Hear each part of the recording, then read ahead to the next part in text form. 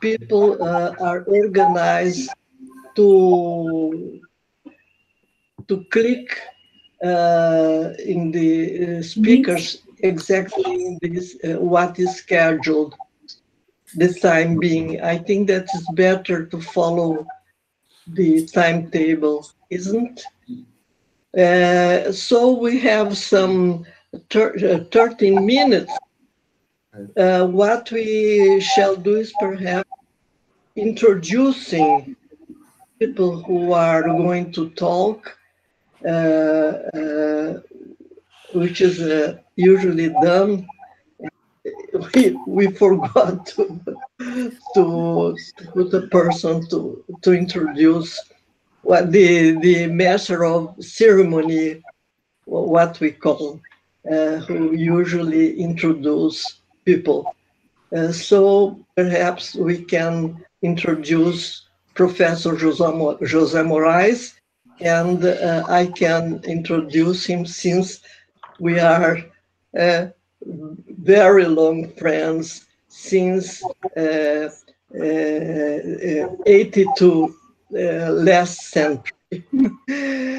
Uh, and so Jose Morais is a, one of the most well-known specialists in reading in the world. he had made a lot of contribution in this field, and uh, namely uh, based on psycholinguistic experiments uh, on how language is processed. A, a neuropsychologist, and so his contribution is very well based in those experiments. And uh, uh, namely, we cannot forget that he don't, uh, uh, he also made a large contribution to the role uh, psycholinguists play in this world where there are so many inequalities and uh, his ideological position is very well known and it's also a large contribution. Uh, so we think in this moment, and I am a little bit uh, emotional, so I cannot speak anymore.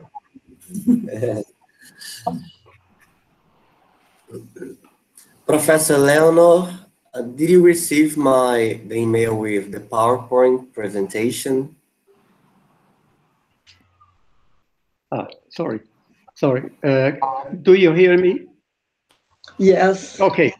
So I thanks. I want just to say thanks very much, Leonor, for uh, everything you said, and uh, uh, it's a real pleasure for me to be here. To be here uh, to well, to talk about uh, these important things. Uh, so let's, well, later, after, in an hour, you tell me what you think about what I'm going to say. Uh, for the presentation, so for the slides, uh, I presume that it, uh, no, we have to wait 15, 15 minutes a few minutes. Is it true, Rosangela? Um, 20 minutes, I think. Ah, 20. Ah, yes, it was uh, half an hour. Okay. Okay. Well, 19 Maybe precisely. yeah. Well, I would like to take this opportunity to welcome everybody to the 12th ISAPL International Congress um, which I'm certainly sure that it will be a great event. Everybody, our welcome.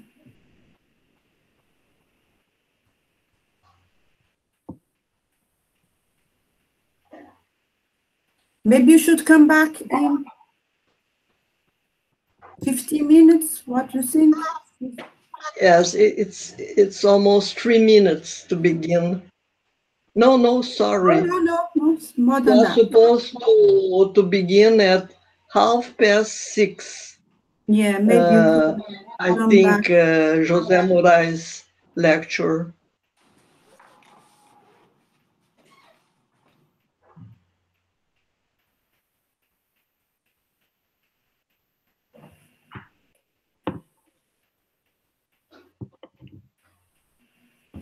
I am, I want to, to say that um, for, for some of you that uh, didn't accompany all the events uh, that preceded this conference, that uh, the, the directory was, new direct, example directory was recently elected uh, uh, due to the fact that ISAPL uh, didn't have uh, a, a presidency, neither a president, neither a secretary treasurer.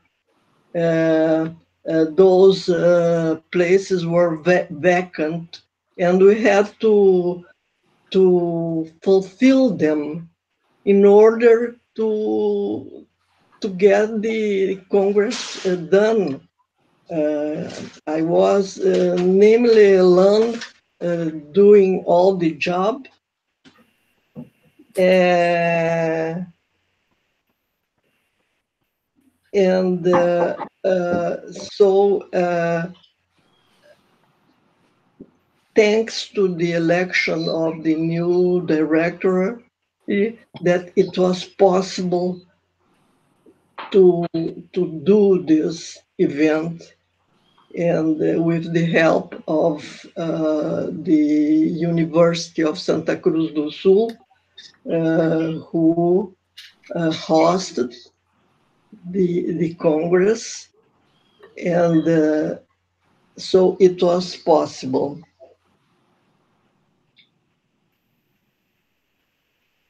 Uh, uh, Leonor, I shared my screen. Well, uh,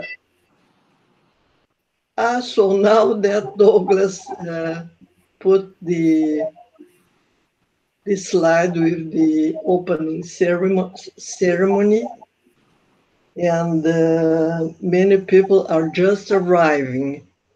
Uh, my my daughter asked asked José to talk about your uh, pre- previous presentations to this Congress and uh, which are your new research.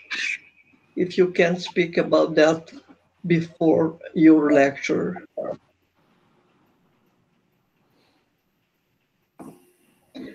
Please open your microphone, it's closed. Oh, yes.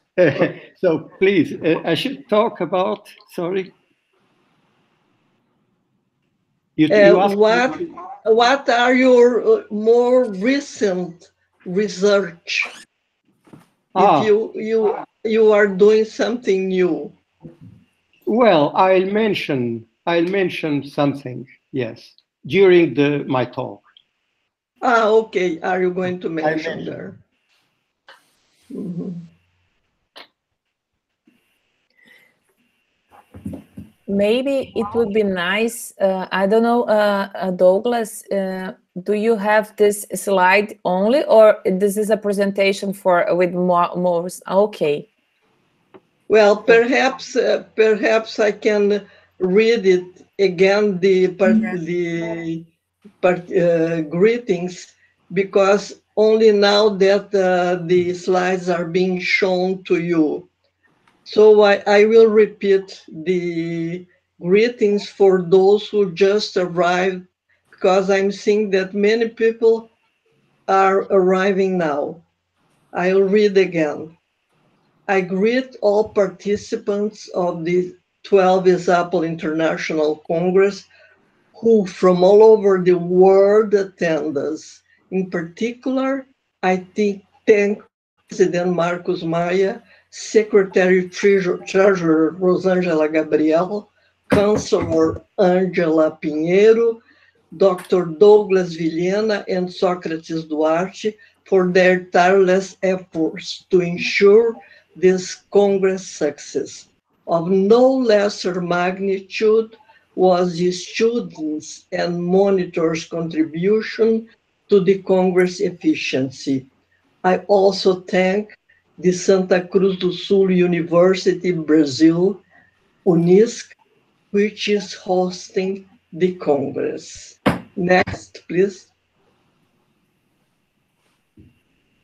Well, now I think that he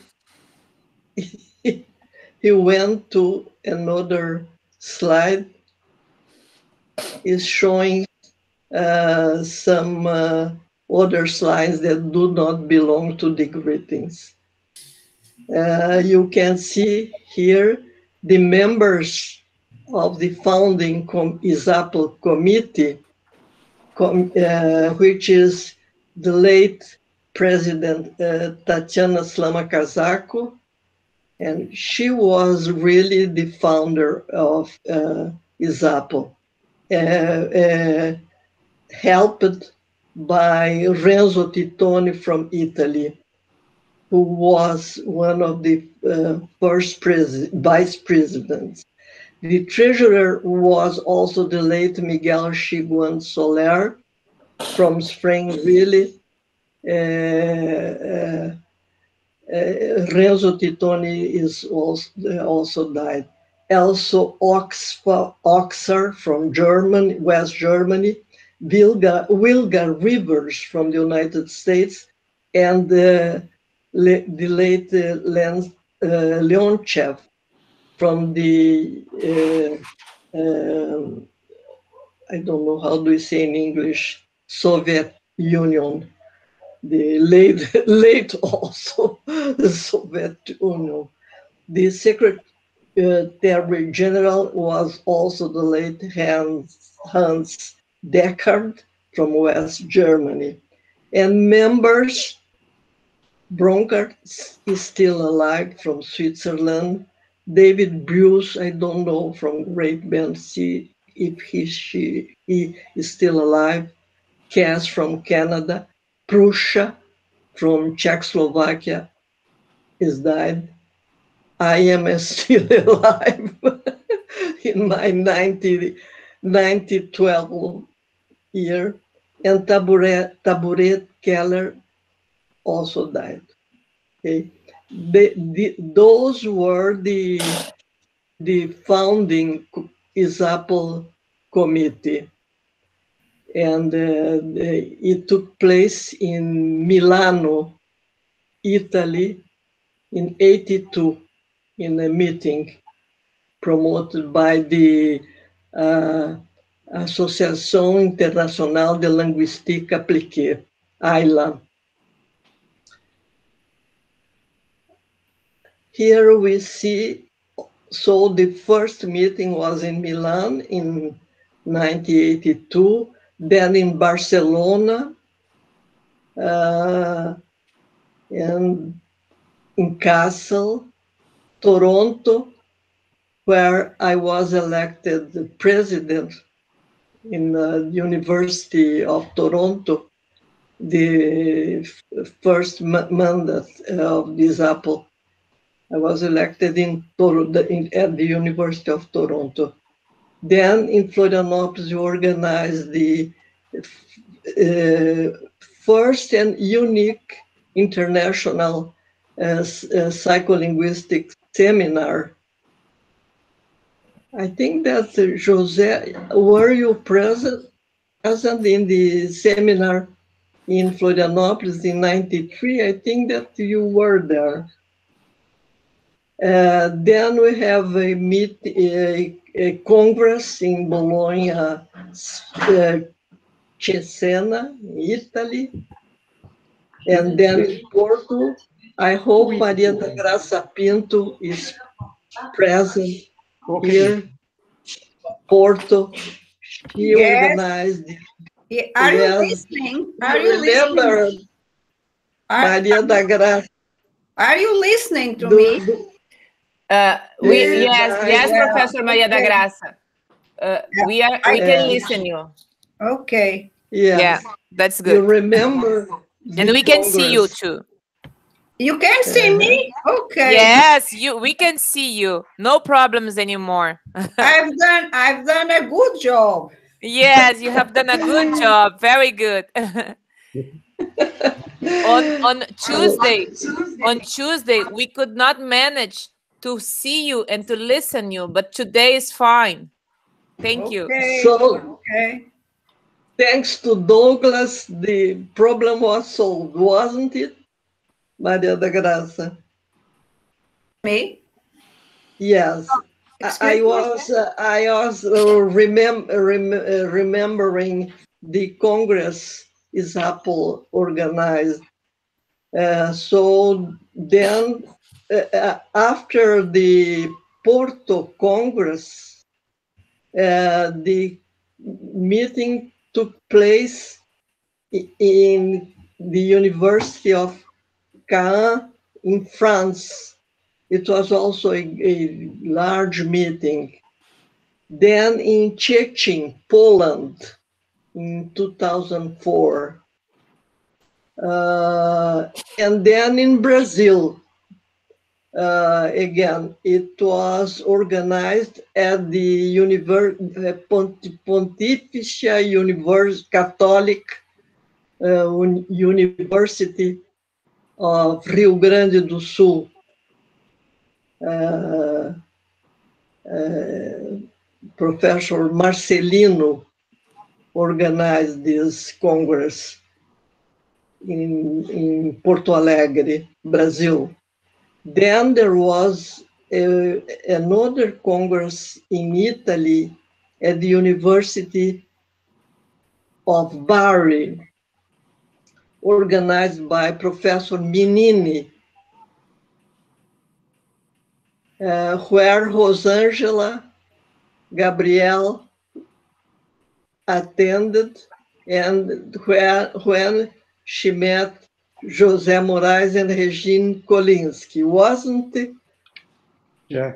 Yes. It was under the the ISAPL umbrella that you you you meet. Yeah, thank you. Met, met, yeah, yeah. Thanks, Zapo, and thank you. And then we have the 10th Congress. It was a magnificent Congress at Moscow. Ufimtseva, uh, Professor Ufimtseva uh, was the organizer with the help of Irina, uh, Professor Irina. Uh, uh, they organized the, the 10th Congress at Moscow. It was also a great Congress. And then the 11th uh, Congress in, at, uh, at Georgia, Tbilisi. Uh, this was the last Congress before our online Congress which, as I told you, you see that, that there is a large period between the 11th Congress, which took place in uh, 2016, and the, the order should be at 2019, but there were so many problems that only now we are joined, fortunately. I think that now, uh, uh, here you see the organizing committee of this Congress. And you can see the names of Professor Dr. João Torrão and uh, Professor Maria Teresa Roberto from the University of Aveiro, which, who are mentioned because they they opened their arms to help us to organize the 12th Congress at the University of Aveiro. But uh, since we could not have an presential Congress, we could not use the University of Aveiro, which open their rooms to host our Congress. But in homage of those uh, help, their names are mentioned in the organizing committee. And here you can see all the names of the International Scientific Committee. Many of them are present now. Thank you for all your help.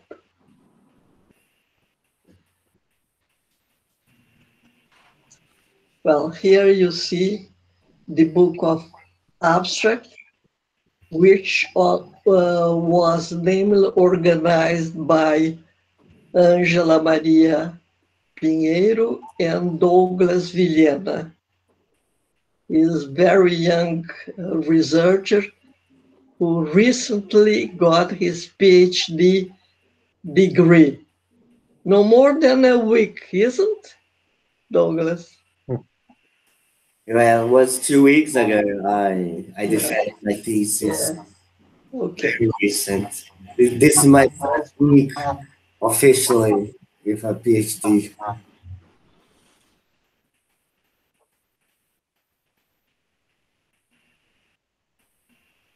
Well, I don't know if uh, these 165 presenters uh, uh, Yeah, continue here because there were presenters. few uh, uh, who could not uh, join in the last minute.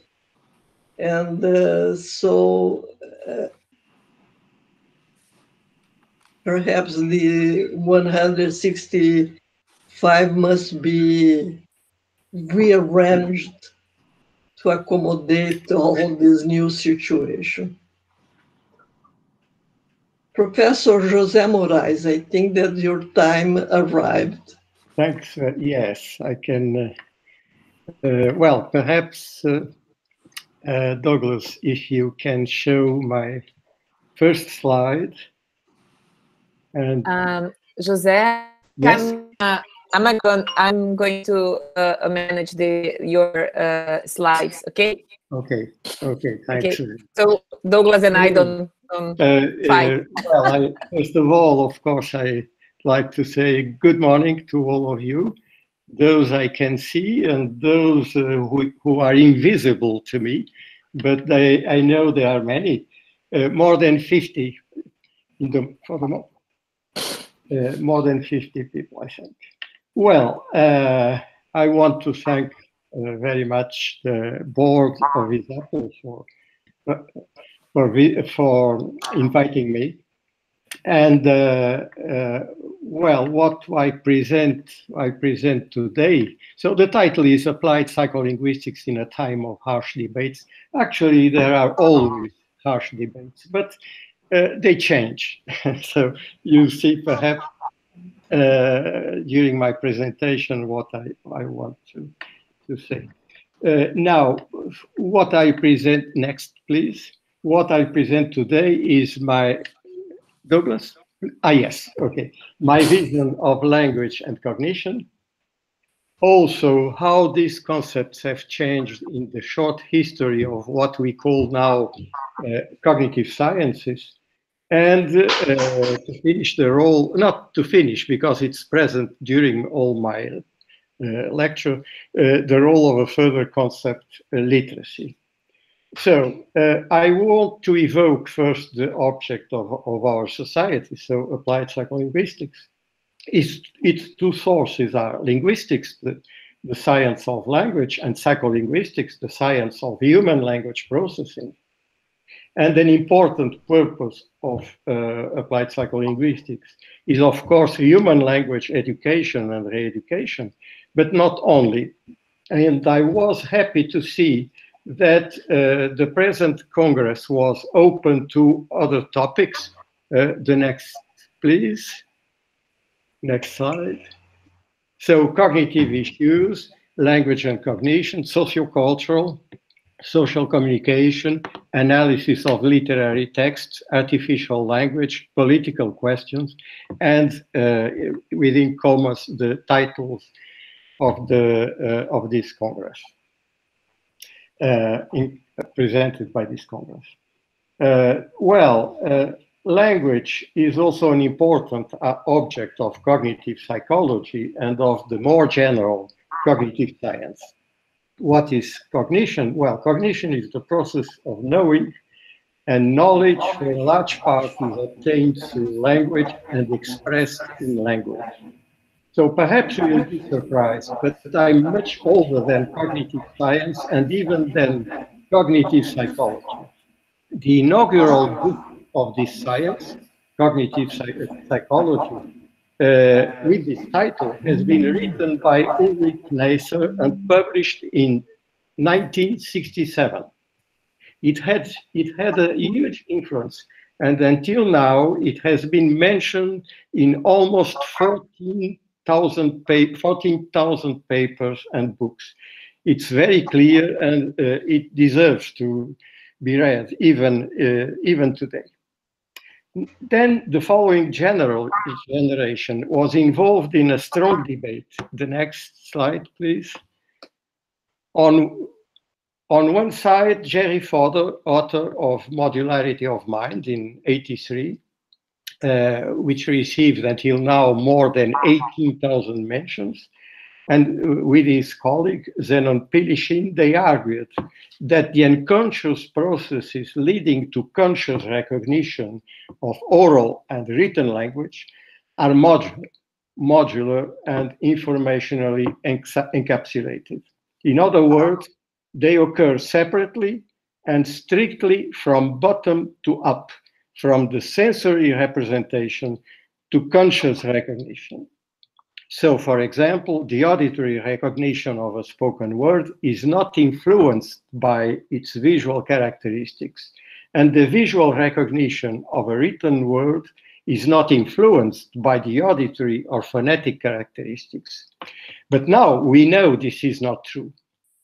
And on the opposite side, Jay McClelland and David Rumelhart in parallel distributed processing 86, so uh, quite close to the book by Fodor, uh, they propose that processing is not strictly bottom-up.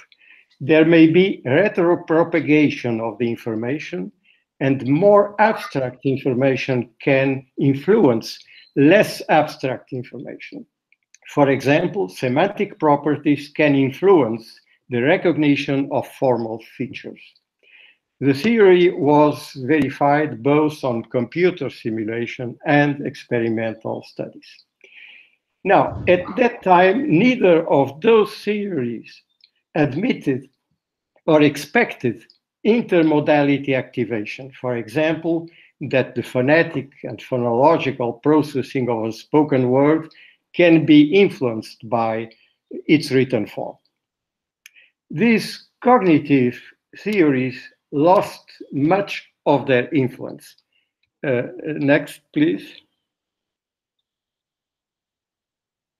Because in the 90s began the neuroscientific revolution due to a major technological improvement, the magnetic resonance Im imaging, which became more and more sophisticated and enabled the researchers to see the areas that are activated in the brain during specific tasks. The brain imagery had also an economic impact, a strong economic impact. Science left the rooms of small laboratories and became an industrial project, part of the capitalist economy. And now many young students are competing for research grants in neuroscience labs, but the selection, as most of us know, is merciless. Epistemologically, there was a reversal in the roles. The next, please. Please. The, uh, yes, the brain ceased to be a biological tool to become the subject of the human actions. And now we can see very frequently expressions like the brain processes or the brain learns. For example, it learns to read and write. And these are current expressions, even in scientific papers. We, as protagonists, are disappearing behind our brain. The operating individual becomes a brain, and it, my brain, because it's it, is guiding me. Fortunately, there are neurocognitive researchers who refuse the reverse, this reversal of the direction of causality. I belong to those who think that acquiring literacy changes the brain, not the reverse. Acquiring literacy changes the brain both deeply and consistently by recycling specific functional neuronal sets and by strengthening their connections with areas involved in language and cognition. The next, please. But it is not the brain that changes you, it's the reverse. By using your brain in reading and writing, you change it. Actually, we began changing our brains a long time ago when we were not sapiens. Our brain is a product of our action, of our praxis. The organ does not change per se. It is changed by the accomplishment of the corresponding function. If we sapiens are able to change the world, it is due to the activity of our ancestors, in particular their manual activity. The sensitivity and the motricity of the hand and the mouth, namely of Homo erectus, were represented in their brains. Next, please. The sapiens hand is, was not independent of his or her language. There is serious evidence that the stone manufacture and the primitive languages shared one area, the F5 brain area, homologous of the present Broca's area, which in the sapiens is crucial for speech articulation. And you can see, for example, this very, very interesting paper in Brain and Language. Uh, but well, uh, it develops, of course, this idea. Next, please. Uh, and Rizzolatti and Arbib, even before, so it was in 1988, uh, in Trends in Neuroscience. Uh, it's there, so okay. Uh, so Rizzolatti and Arbib were among the first to propose that the human language evolved both from a, a mechanism that was not concerned with communication, uh, but with the capacity to recognize and coordinate actions. Syntax, including recursiveness, shares with manual praxis the concatenation and ordination of bits of action. This might explain why syntax and manual praxis share common or very close brain areas. And uh, I suggest also reading this, this uh, paper uh, and, all, and another one for, by the same author in Cortex the same year. Um, well, I believe that both communication and actions depend on our will, our voluntary decisions. And will and decisions are registered, of course, in the brain. We have the signature. We are the pilot, even if we are not always rational. and aware of our desires and uh, real motivations. In this moment, I'm reading spe and speaking to you, and I hope you are listening to me. You are, I think. uh, but it was not my brain that decided. I could stop now if I wanted. I will not, of course, but I could. Uh, some of you may take the decision of attending preferably what I say or what is written in the slides. This is what cognitive psychologists call selective attention. It's you, not your brain, that decides to orient your attention. Now, it may, difficult, may be difficult for us and for our brains to attend and process two different messages presented simultaneously, even if one is written and the other spoken. The next slides. Ah, yes, it's there. So uh, it's a very interesting paper, very recent, published um, in February, I think, uh, last February, by Cohen, Laurent Cohen, and uh, including other researchers and uh, as last author uh, Stanislas Dehaene. And so they address this issue of selective attention for language, uh, both uh, with written and with spoken stimuli. So the authors presented either sentences or word lists in one sensory modality, auditory or visual, and in some conditions they influenced the participants' attention by presenting concurrently distractors in a different sensorial modality, either visual patterns or melodies. And this led to a strong decrease in, of the activation of the anterior and mid-lateral parts of the cortex. In those regions, the brain activation was particularly reduced for the written material. In contrast, as you will see in the next slide, the attentional conflict did not prevent a strong response of the posterior or ventral occipital temporal cortex to the letter strings. And you can see it's the yellow region. The processing of letter strings at this site is which is called visual word form area, this processing is automatic. So it does not, is it is not influenced by selective attention. That one very peripheral. So one of the first uh, processing that is uh, that operates on written stimuli is automatic. Obviously, this happens only for literate people because they learn to read.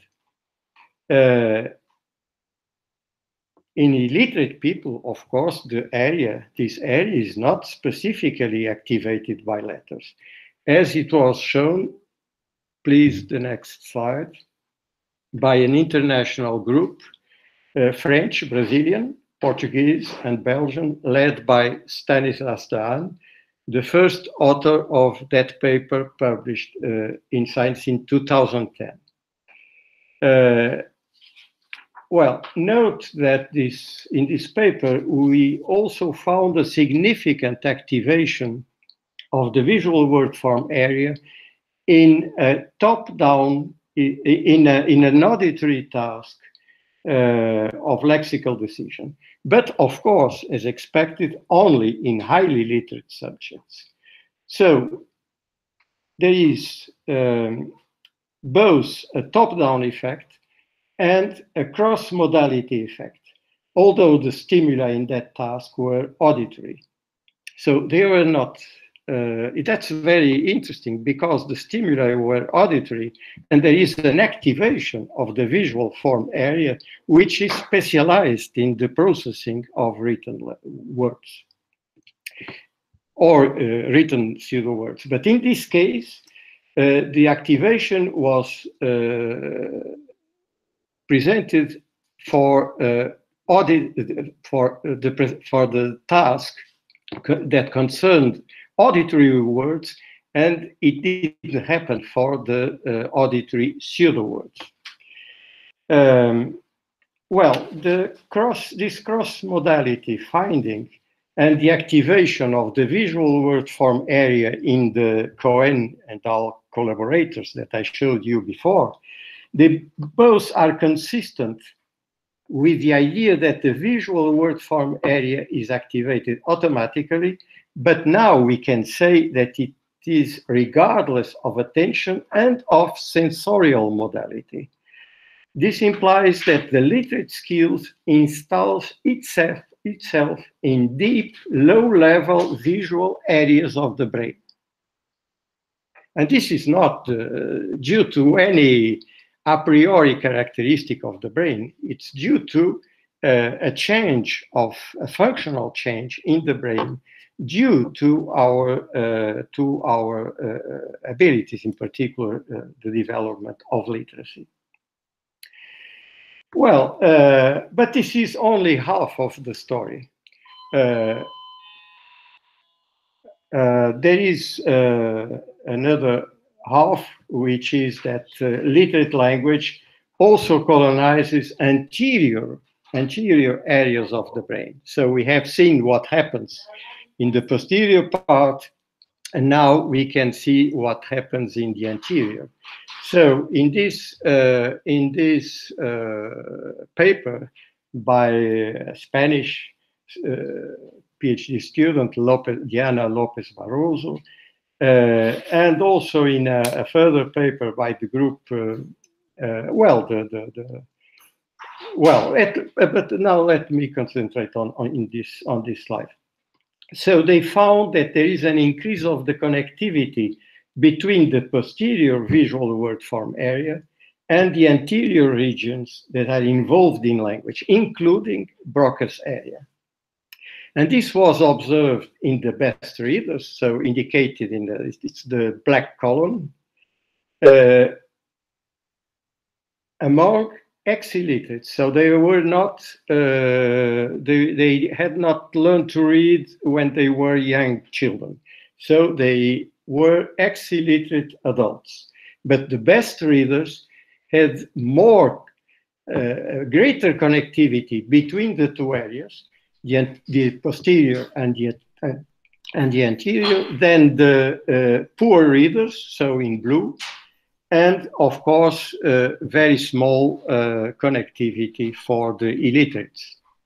So it's clear that literacy contributes the practice and the development of the skill of reading and writing uh, leads to uh, an increase of the connectivity uh, between the networks involved in vision and in language processing.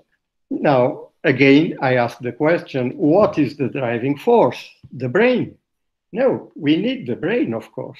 Without the brain, we wouldn't do anything. But the driving force is our mental activities. And above all, our literate language and, and uh, cognition. Now, a very interesting question is why both language and cognition have changed so much and so fast in the last 5,000 years. And this is a very short time period compared to what happened in the previous hundreds of thousands years uh, for the, this uh, this special uh, animal called uh, Homo sapiens. Well, the key to understand this huge revolution, I cannot call it evolution, but revolution is the invention of writing, a major technology comparable in importance to the much older technologies that allowed our ancestors to make tools from stones and produce fire. Most probably, the writing systems have been created without awareness of the involved cognitive operations. In the case of the alphabet, the phoneme was only conceptualized in the end of the 19th century. So about 3,000 years after the creation of the first alphabet. This technological revolution is still in progress as it just entered in a new age, the age of digital literacy. What is the phoneme? Well, we cannot say that the phoneme exists in the same sense as we say that atoms exist in the matter. The phoneme is a concept created by linguists and inherited by the psycholinguists. It's useful, very useful, to analyze the spoken language, uh, the spoken languages that are alphabetic, alphabetically written, and to bet also very useful to better teach children and adults to read and write in an alphabet.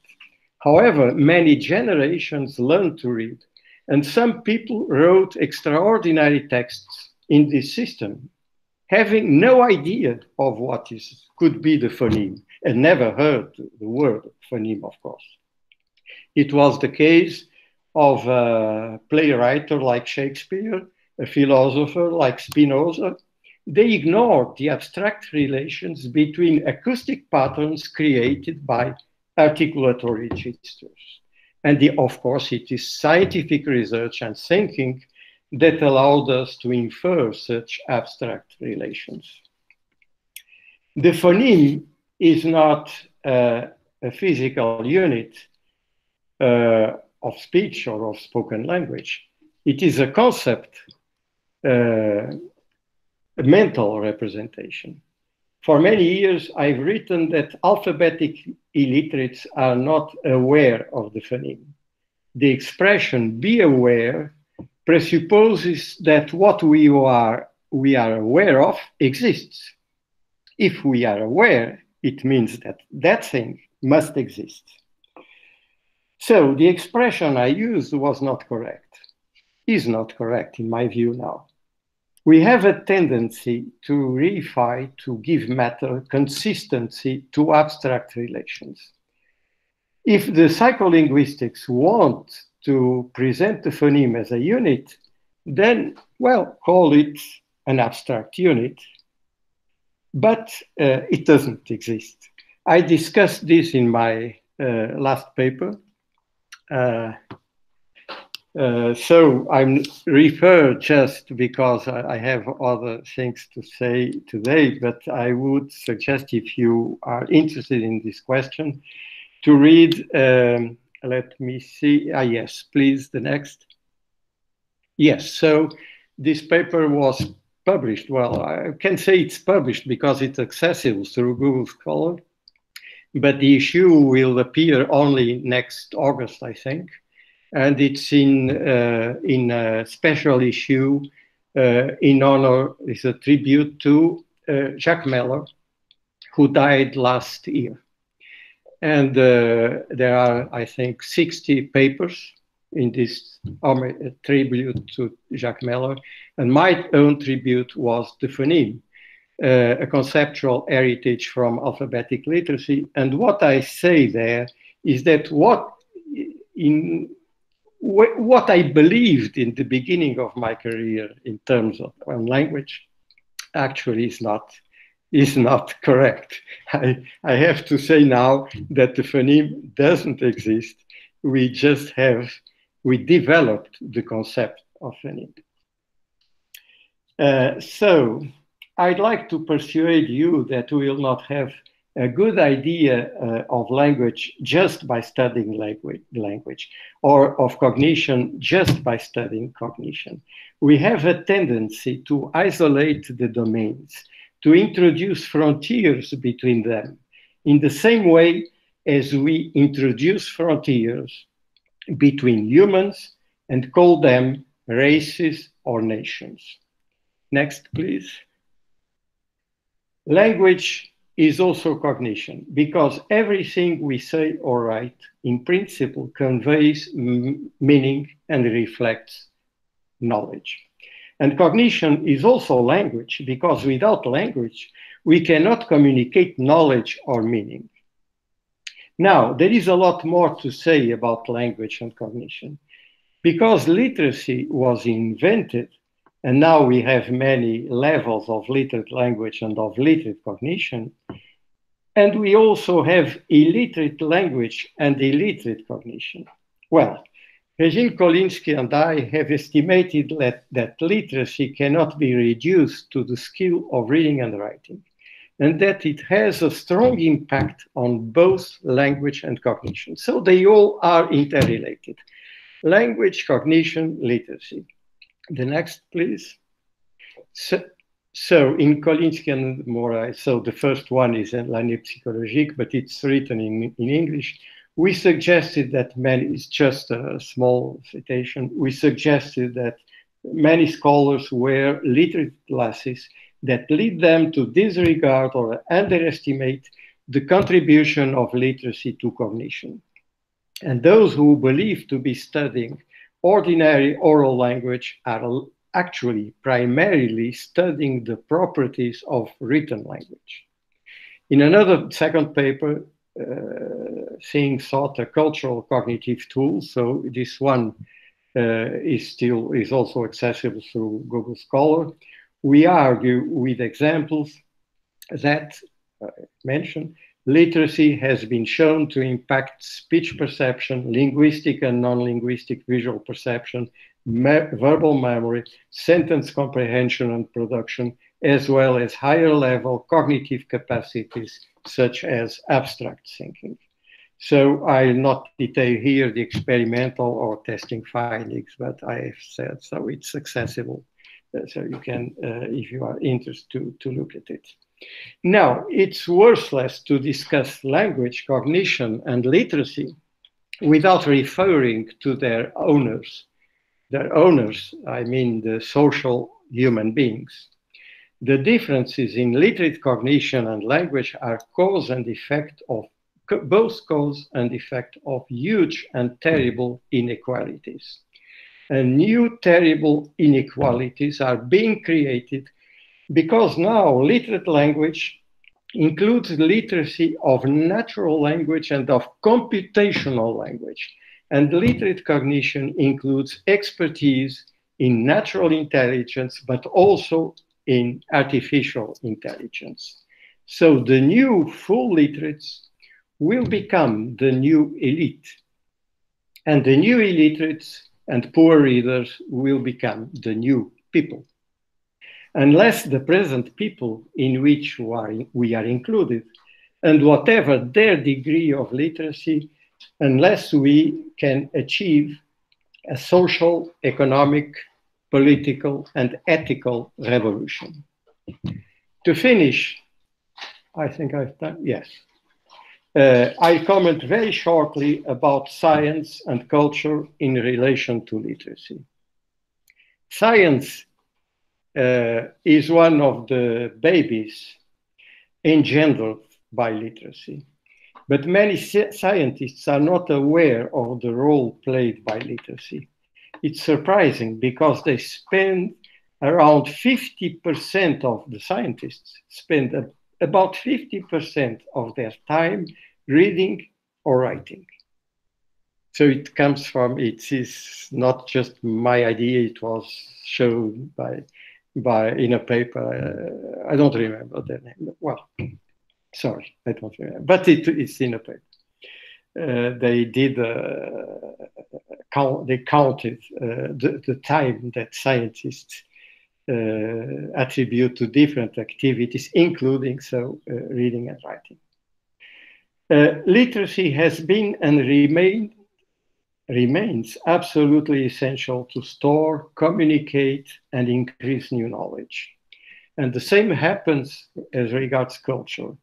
Many, if not all aspects of our life are determined, conditioned, or chosen by the fact that we live in natural and in social contexts.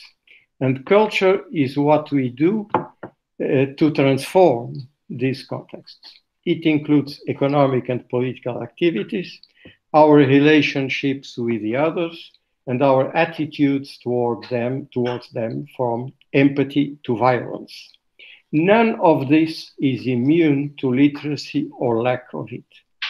Our illiterate activities, or the lack of them, contribute to determine our needs and our character But the literate people find most of their literacy effects, effects on culture so trivial, they consider them so trivial that they don't notice how much we are enculturated by literacy and by other vectors of culture. I looked at the writings of several remarkable authors in philosophy of science and cognitive science and find I found nothing or almost nothing that evokes a role for literacy. It's very, very strange. But most of these people, excellent uh, thinkers, well, they, they don't look at literacy one of the more productive among the philosophers of cognition and neuroscience is William Bechtel, professor at the University of San Diego, and his important book, really important, really interesting, called Mental Mechanisms, Philosophical Perspectives on Cognitive Neuroscience. It's from 2008. Well, in it, I didn't find the words literacy or literate? No, nothing, nothing about it. Take Jerry Fodor, for example. To him, the cognitive theories are committed to a language of thought. That's the expression, the language of thought, which he intentionally called mentalese. It's innate and cannot be learned to Jerry Fodor. Hence, it cannot be literate. And then he's, he's consistent with himself. It, does, it, does, it doesn't talk about, it doesn't refer literacy, of course, because mentalese is innate and cannot be learned. Well, this medium uh, that is required by thinking uh, is necess- is, uh, must be literate because uh, language requires it. It's, it's informed, informative and precise. But of course, it's not only uh, literate language. It can be, this medium can be also images, movements, effects, emotions, attitudes. In order to know about the human beings, we learned a lot from cognitive linguistics and psycholinguistics. But we must also learn from other sciences. And I think that we cannot distinguish, uh, we can, dis we can distinguish, but we cannot separate the sciences because they all converge and they all uh, interact. And uh, for example, we have a lot, lots of things to learn from an anthropology. And there is the, the, the, the slide so uh, that concerns what I'm going to, to say. So an anthropologist, Loebner, warned us that the most recent anthropology overcultivated the concept in contrast with previous anthropologists of the 20th century. In the paper No Such Thing as a Concept, Lerner wrote that in the British anthropolog anthropological tradition, beginning with Malinowski, there was no such thing as a concept. So the recognition of literacy led also to the recognition of what is really is a concept. A concept is a literate, is a, a, a literate concept. The individual mind is nothing out of the social, economic, political, cultural, ideological, and psychological relations the mind alone cut off all those relations. I mentioned the, the, the, the mentalese, but it's the same for the mind. So the apparent substance of this language. The mind alone, cut off all those relations, is a phantasm. The mind doesn't exist. I'm sorry, but our mind, what we call mind, doesn't exist. What exists in our thinking is the literate concept of mind. So it's a concept. The isolation and fixation of concepts through literacy, when drawn from the context that explains them, produce such hallucinations. The belief that we possess a mind, an internal organ or power, is linked to the necessity of assuming that some instance in ourselves command, command, commands our desires, affects, thoughts, memories, decisions, and acts. Esprit in French, espírito in Portuguese, have an older origin, a religious one, but modern literacy gave it a different meaning. The old, the old English words for mind and remind did not appear before the 14th century, and the expressions never mind and don't mind appeared only in the 18th and 19th centuries. It seems that the educated British high social class may have been deter determinant of such meanings and expressions. Next, please. We wrote in uh, uh, Morais and Kolinsky 2021, so uh, the, oh well, the same, same paper I already mentioned. We wrote there that literacy allowed fixing mental processes as mind, which is nothing more than a conceptual abstraction that cognitive scientists forgot that billions of people are non-literate and that most of these could uh, but do not share the same kind of, uh, of mind as ours. And we invited cognitive scientists in that paper, we invited cognitive science to read our science with new eyes, as there is no mind, neither quantities of minds. There are people, each with a history of mental processes. The next, please. Interestingly, quite interestingly, the great philosopher Gilbert Ryle, who wrote The Concept of Mind in 1949, uh, never used the concepts literacy or literate in his book, but he employed only once the word obliterate.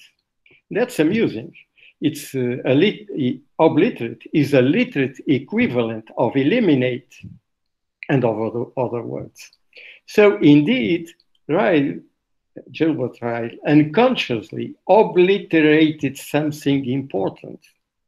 In contrast, you have at the beginning of the Enlightenment Diderot, who 200, year, 200 years earlier wrote Le cerveau est un livre qui se lit lui-même. The brain is a book that reads itself.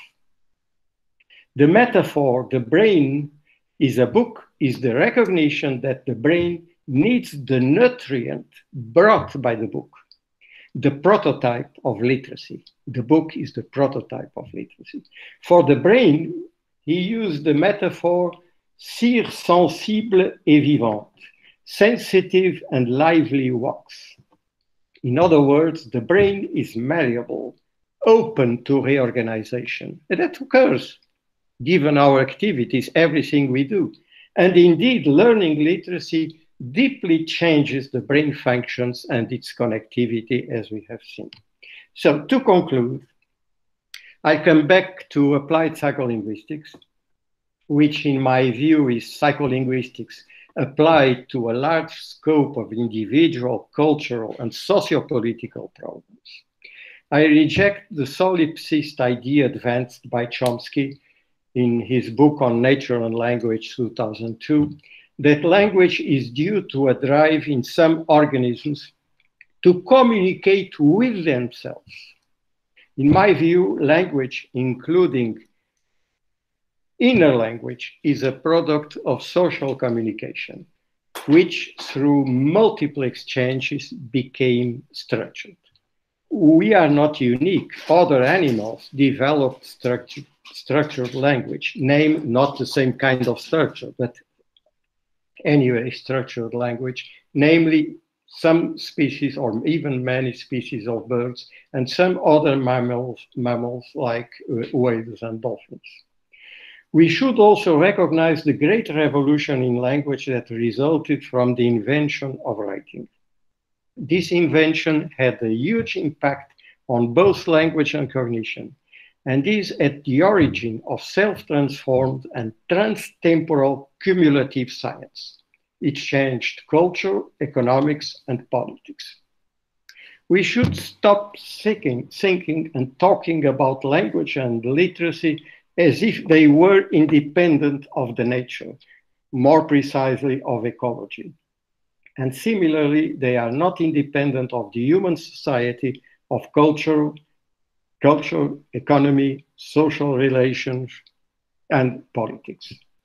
The mastery of spoken language, as well as the mastery of literate language and literate knowledge, are and have always been the privilege of a min minority across the history.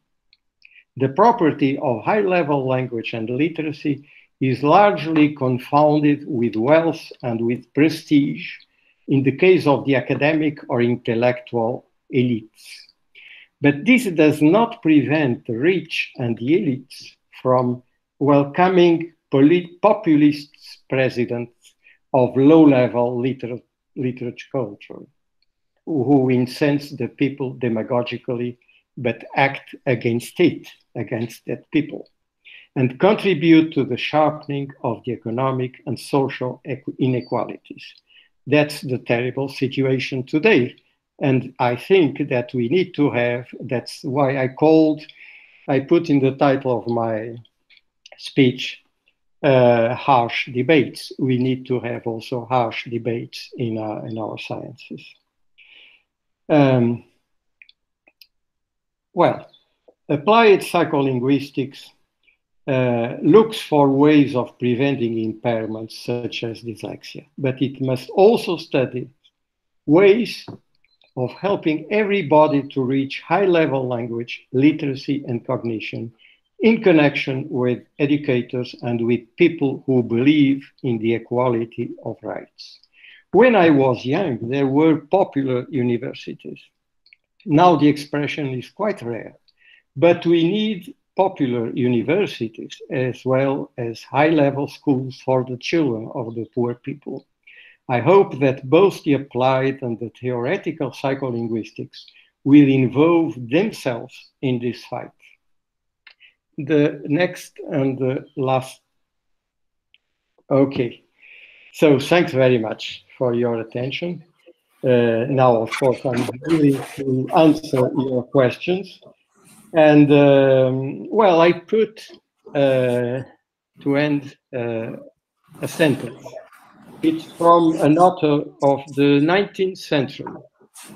And I put it there because I think, I think it uh, corresponds quite well to the idea, uh, to the idea I wanted now to, literacy, of course, I would like to convey which is the idea of the unity of science, that many domains of science are interconnected. And I read the sentence, if I'm active in the field of science, I'm also socially active. Natural science will, in time, subsume the science of man, just as the science of man will subsume natural science. There will be one science. That's that's terrible. That's inc incredible because I don't know if you know if you have any any idea about who was the the author uh, of this sentence that uh, proposes that uh, there is, after all, one science which is both cultural and natural. You are you will be very surprised. It was written in manuscripts who, which were published later on. Uh, the, the, the, famous manuscripts of 1844, and the author is Karl Marx. So, our society is discriminatory, and it separated the intellectual with linguistic skills and the manual work. But in the brain and the, and the researchers, in the researcher who writes papers on the computer, they remain linked. And we have to take this as an important, uh, well, uh, way uh, for thinking now uh, language, cognition, literacy, etc. Well, thanks very much.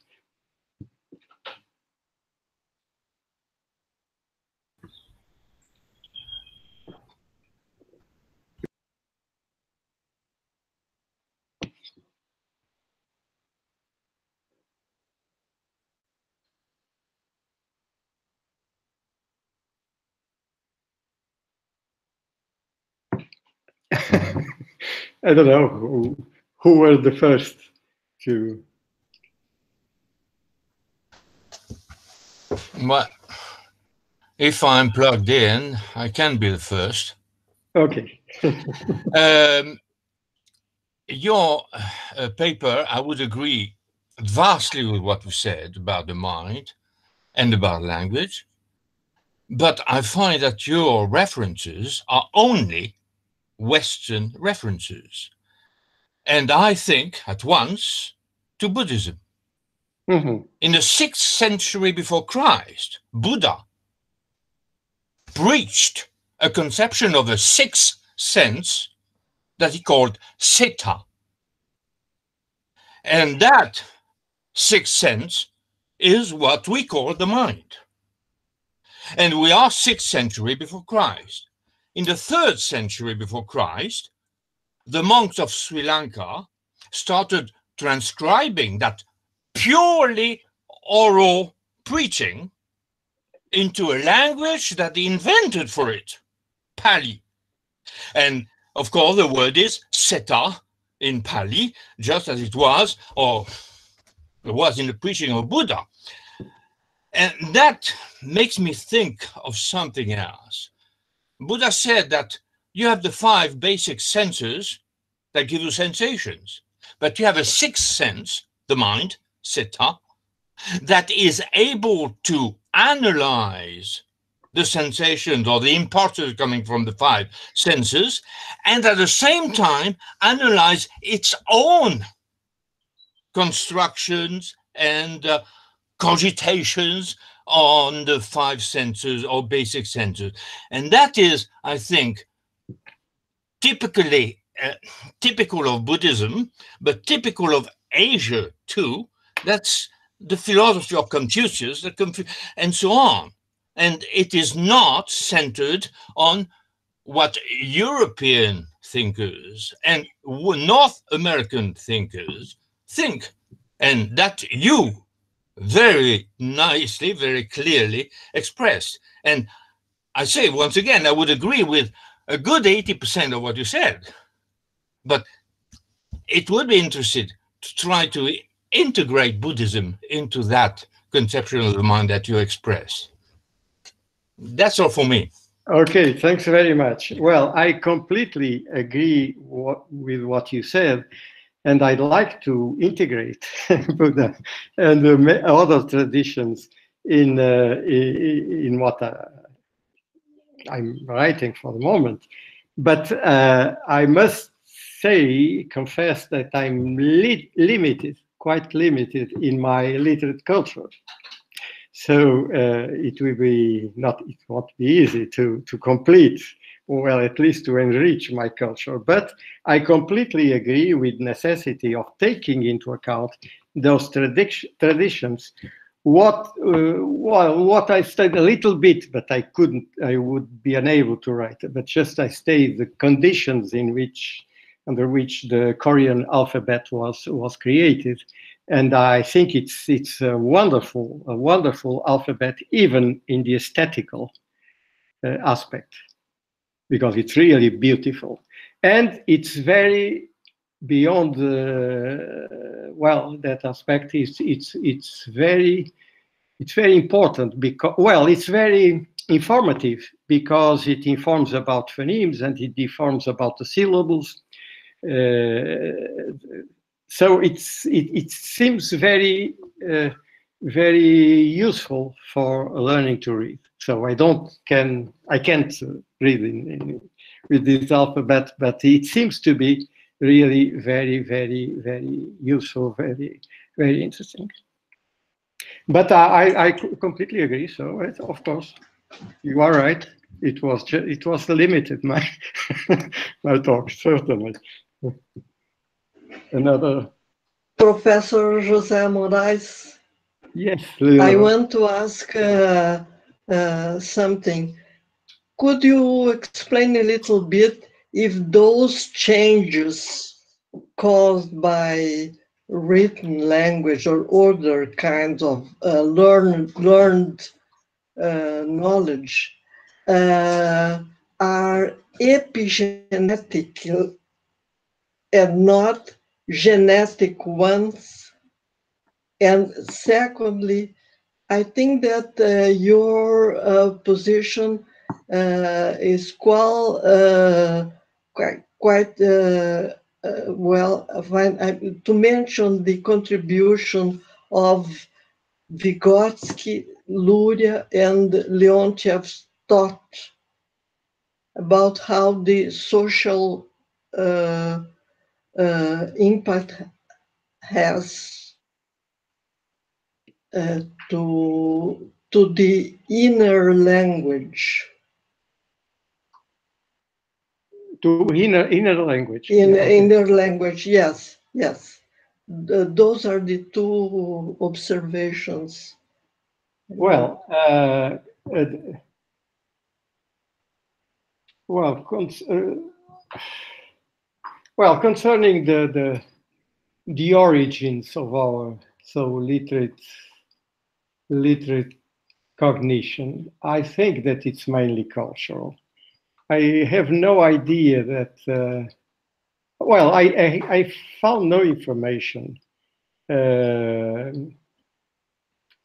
concerning uh, a biological a biological influence of any kind. No. Um, of course, it's it's it's it develops in the context of the biological possibilities offered by by the by our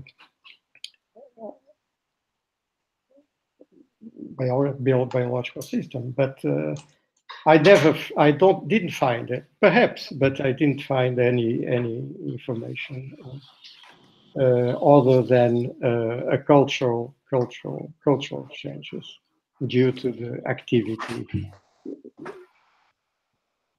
including the activity of reading. Now, concerning uh, Luria and uh, the the Sovietic uh, psychologists of, of that epoch. Maybe, but uh, I have a problem with uh, uh, many interpretations that have been offered, for example, by Luria concerning concerning, for example, reasoning, because uh, he did very interesting experiments, but some of those experiments uh, would require um, more uh, attention and to be developed in uh, with more with greater control. So I'm not sure uh, we can well uh, take them as they are. Hi, thank you, José, for your beautiful lecture. And uh, I'd like to ask you a question. I mean, you mentioned the work of Arbib and Kemmerer and uh, stressed the, role uh, of uh, recursion in, in language and uh, cognition. I have read recently a paper by Vyshedskiy, I think this is the way his name is pronounced, in which it talks about prefrontal synthesis and compares it to linguistic uh, merge uh, in the sense that uh, you can synthesize novel mental imagery from two or more objects stored in memory. Maybe we could hear you a little bit more about this interesting topic. Ah, uh, well, I, I'm uh, obviously aware of the of the discussion between the Chomsky and the, the anti-Chomsky Chomsky concerning the, the origins. Well, I, I prefer Chomsky, the political man in Chomsky. I'm sorry. but- Well, anyway, he is cer- he's certainly right in most of the descriptions uh, he, and the models he, offered concerning language. Not saying, uh, well, that's something that we have to put aside. No, certainly not. Uh, now, uh, the idea that uh, uh, some gene random gene modification in our biology led to the development of language is a bit strong. It's a bit strong. so I, I don't accept it. No. Uh, now many of the model modelings by models by by Chomsky uh, concerning recursion, etc., are very interesting. To what extent they uh, are certainly correct, but uh, to what extent that explains the whole of language. Uh, well, for me, the whole of language has to include also the language of other animals, not just uh, the human, but even for the, the human, or the, the human, well, there are some indications that uh, at least before the sapiens, uh, there were uh, grammars that did not include uh, recursion. Well, I think it's an open question. For me, it's an open question. It's not closed. Thank you.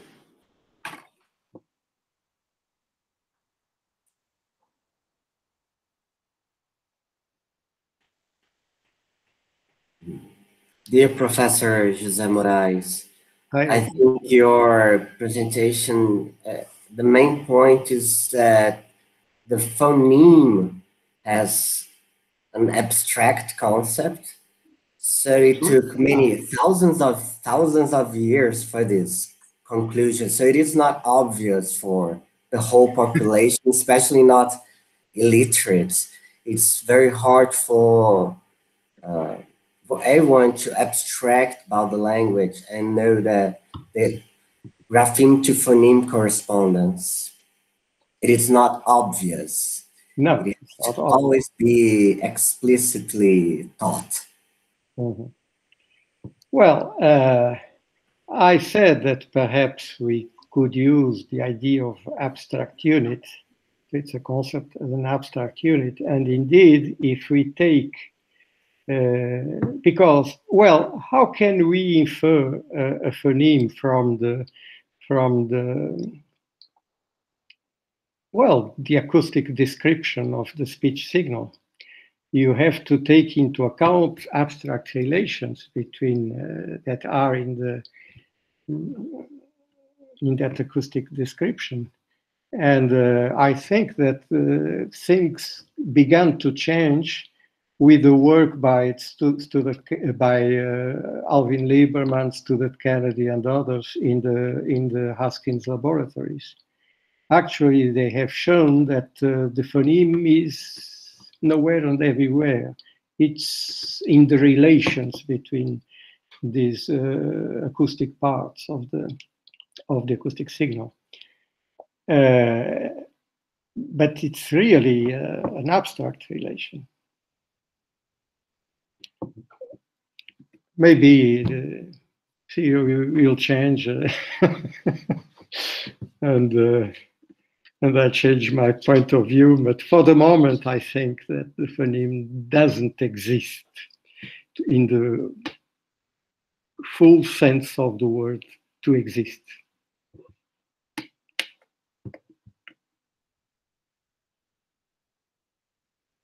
I could I could add just the following because it it's not hard for me to to arrive at this conclusion because when I when I began to to to work on on speech perception and then on the on the phonemic abilities or awareness, uh, I tried to find a word to uh, to to notate what. Uh, uh, Uh, literates, what illiterates were and unaware of. And I couldn't say that the literates became aware of phonemes and that the other ones were unaware of phonemes. It, it was very difficult to, to so I, I, I called in my first papers on that topic, I used phonetic because I didn't want to, to use an abstract, so abstract word like phoneme. So I used phonetic. But I, I talked about phonetic awareness. And the awareness was still there. and it means that it exists. it implies that it exists. It doesn't mean, but it implies that it exists. And uh, so I, am not sure. I'm not sure. I, um, for the moment, I think that the phoneme does exist. Let's see in a few years if I'm still alive. Let's see what will happen. Leonor? José, we only can be aware about phonemes with the help of the alphabetic principles. There is no other way to be aware of the phoneme. Yes. No possibility to, we cannot uh, help with the acoustic uh, cues because everything is mixed in the chain of speech. We cannot, we cannot help with this phonetic cues. The mm-hmm. only possibility is with the help of the alphabetic principles. And so it is abstract. No way. Okay. No way. Okay, okay I really agree. I think Professor Danuta wants to speak. I'm not sure. Uh, yeah, yes, yes, I raised my hand. Thank you very much, Angela. Yes, you're welcome. Um, yeah, um, I, am neither a cognitive linguist or neurolinguist, but I've wondered whether you could elaborate a little bit more on your concept of literacy, which obviously here you associated with language and cognition, our perception of all different kinds. Do you think we can go beyond uh, the language focus and cognition into non-verbal? Like uh, if we, if you understand, and I do agree completely with that, uh, that literacy adds to changes in our brain, that literacy is primary for interconnectivity.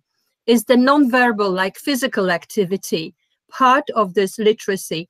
I know that uh, Professor David Green did the studies which, at which he, in which he actually looked at how physical activity affects the brain connectivity, especially in the elderly. Would you put that as part of literacy? My answer would be that uh, indeed images might be influenced uh, by literacy. And then it would uh, be part of uh, what we call literacy. Uh, but we need more, more uh, information, experimental information about it.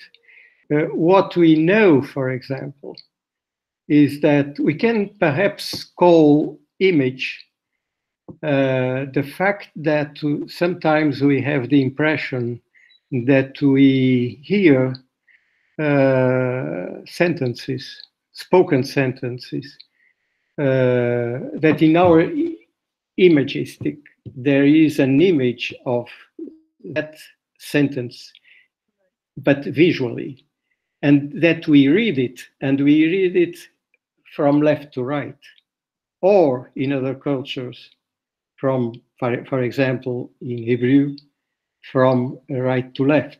And it's true. This, this has been shown, so it's clear. And uh, also for uh, the relationship with the temporal, independently of language, temporal events. And there are lots of studies now showing this. So if we, we, we include those kind of images in the concept of literacy, which would be possible because there is a, an influence of literacy. But if we agree in including that in the concept of literacy, then it would be, yes, okay. Now we may discuss, perhaps, perhaps we have to, uh, we are going too far, uh, including it in the, in the concept of literacy. I don't, I don't know. So that's to discuss. Thank you very much. Thank you. Just, just an idea.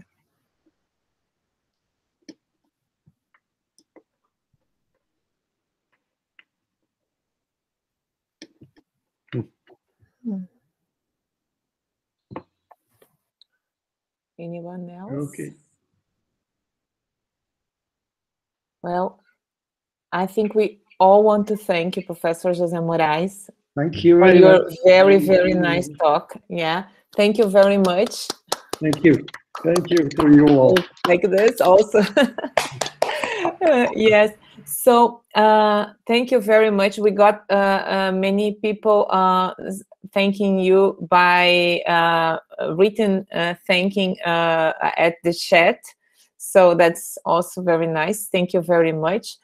Um, if we don't have more questions, maybe we can have a five minutes break between this talk and the next one it will be all in the same room so you can keep uh, you can stay connected. Maybe you want to close uh, keep your mic uh, uh, uh, off and maybe if you want to um also uh, keep your camera on or off it's up to you really. And then in five minutes we can at uh, 7.45 brazilian time um, let's just say it right uh, at um 11:45 for Lisbon time, we can start the next talk. Is it okay? Yes, good. So thank you, and we see each other in five minutes.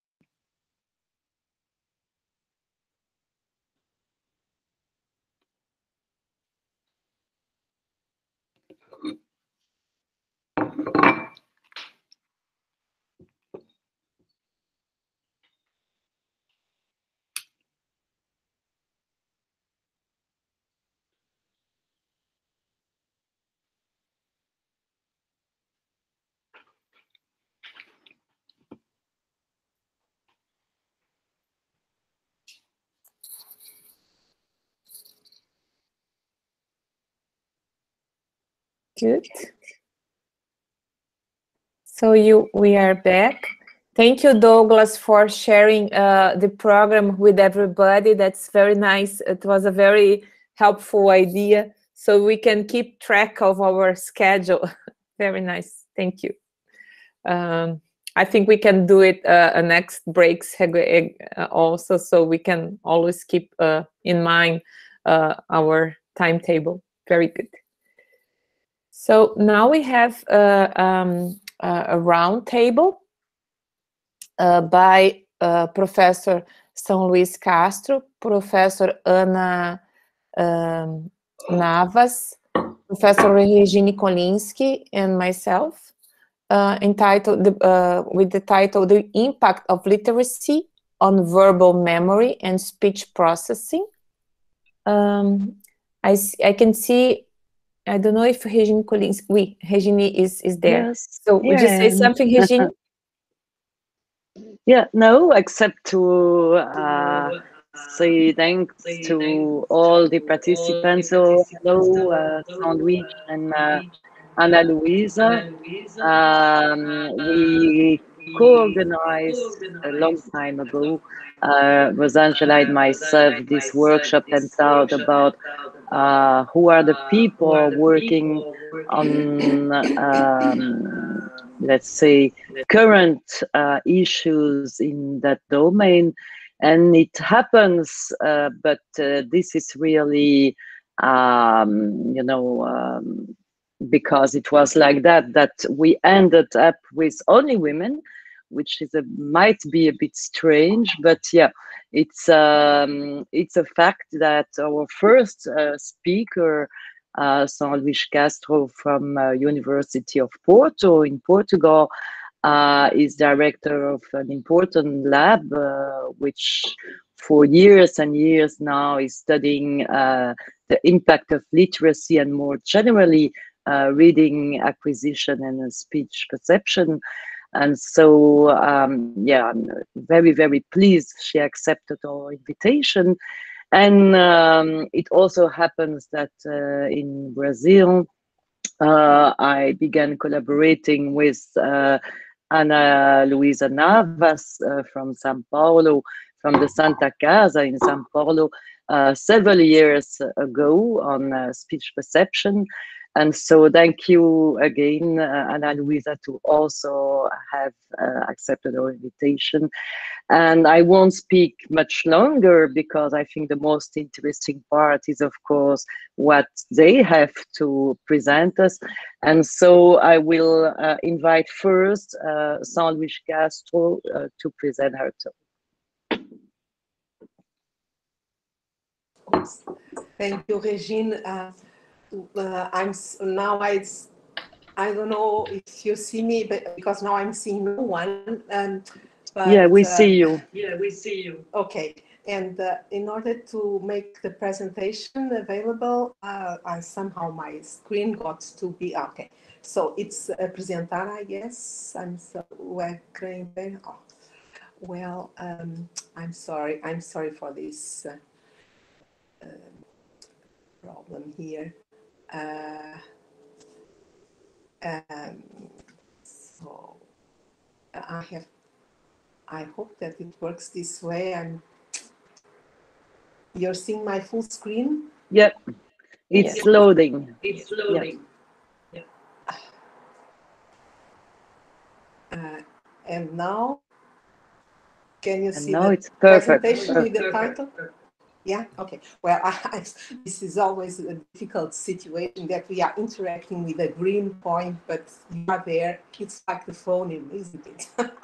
we do, it, it- do we really exist as a, as a conversation entity? Well, I'm sorry for this, but uh, um, let's start. So first of all, I'd like to thank Regine for inviting me. It's, it's a pleasure to be uh, with you and to be able to interact again with this interesting group of uh, thinkers and to be thrilled by uh, quite challenging views by, by Jose um, and, uh, and the others that commented on his talk.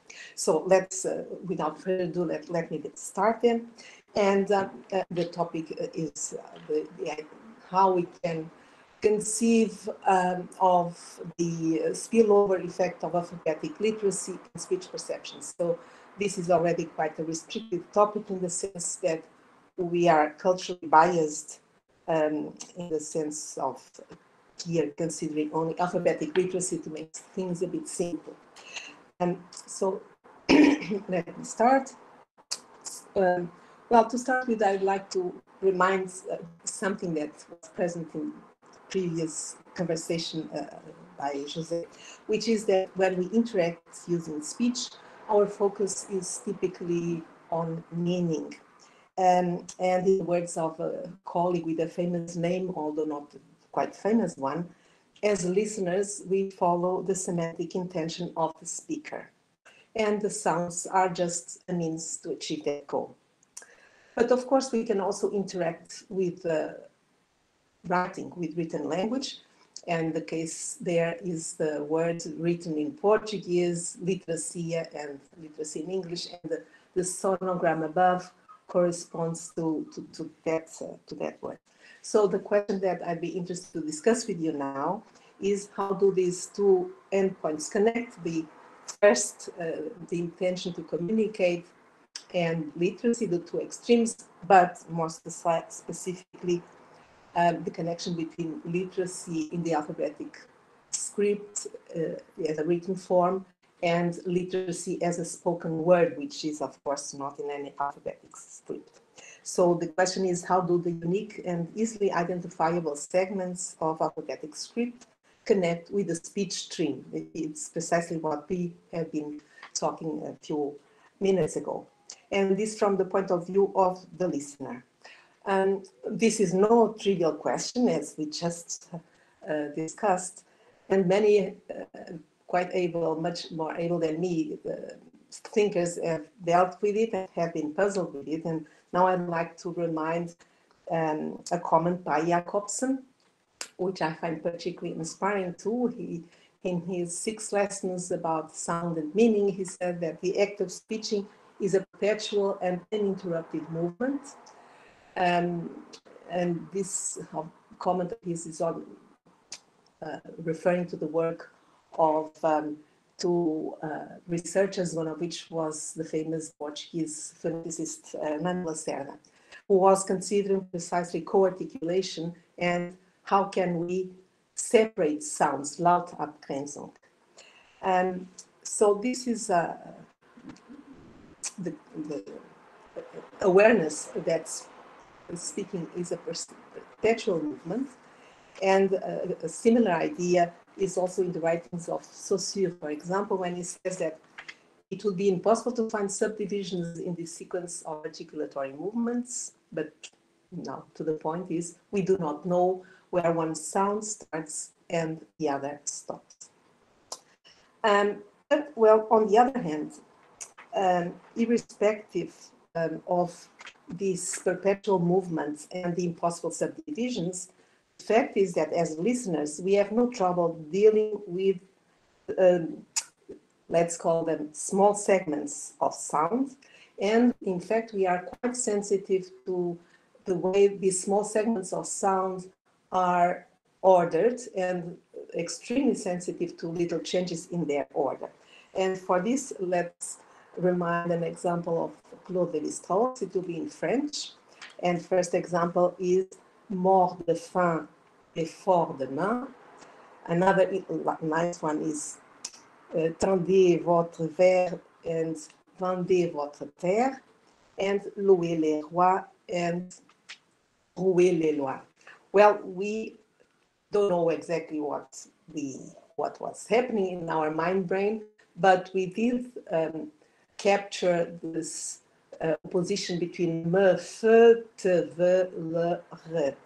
And let us call it tentatively the phonemic level of representation, of the phonological level of, of representation, this abstract unit that we were talking uh, in the previous discussion.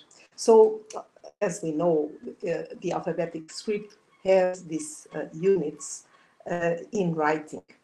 Uh, yet, as yeah, they are in writing, And there is this long tradition of considering that they exist as opposing and relative and negative entities. So they don't exist in the positive sense, they exist only in as much as they oppose others, they are relative and they are negative because they only exist by opposition, which is a nice idea to uh, convene with this notion that they are quite abstract, in fact. Um, so let's um, uh, assume that um, these uh, segments, whatever they are, um, they, they, they are functional in our speech perception. And the interesting question uh, arises also from an ontogenetic point of view, because first we speak and perceive speech, and then in our culture, um, or many of, not only Western cultures, we become literates and represent phonological segments with letters and graphemes. And uh, what we, I'd like to discuss with you now is how this uh, phonemic or phonological level of representation, which is supposed to be foundational for language processing, um, how it um, can be uh, contaminated, so to speak, by, by literacy. And doing this with a, a review of uh, very simple behavioral experiments that have compared um, adults who are illiterate for socioeconomic reasons, so they are perfectly able to deal with their lives, they're intelligent people, but socioeconomic reasons they did not um, get in touch with uh, literacy, alphabetic literacy, with um, the typical person who attended school as child and then had at least nine years of schooling. This would be typical of the Portuguese environment a few years ago. Uh, but because literacy doesn't come alone, it comes typically with schooling, at least in our cultures. And so in order to compare the impact of literacy, trying to disentangle it from schooling, we also have a third point of comparison, which were the semi-literates. These were people who attended school as children, but in contrast to the literates, at most they had seven, four years of schooling, which just for curiosity, in some publications, these people um, uh, are classified as illiterates because of the very low or rudimentary level of um, of of schooling and and uh, and literacy. And we will do uh, this comparison of um, uh, in listening experiments. So from very from easy to not so easy listening listening conditions and the task is quite simple one, is just to say what did you hear and what people might have heard will be either syllables, simple syllables, or words. And so listen to what you hear in very simple condition. Uh, listen, listening to monaural um, syllables coming from speech continua. And so the question, the subjects have to say which syllable is it or in a slightly more demanding situation in which one stimulus comes to one ear, the other comes to the other, and you are asked to repeat and say what you have heard on the one ear or on the other ear. So you must pay attention to one ear, not to the other, and there is the possibility of interference. And finally, the most um, demanding condition where words are embedded in noise, which is uh, maybe more similar to everyday situations where often words are masked in the middle of noise. So I'd like to give you an, an idea of what would be the situation of identifying syllables in a speech continuum, and I hope that it works.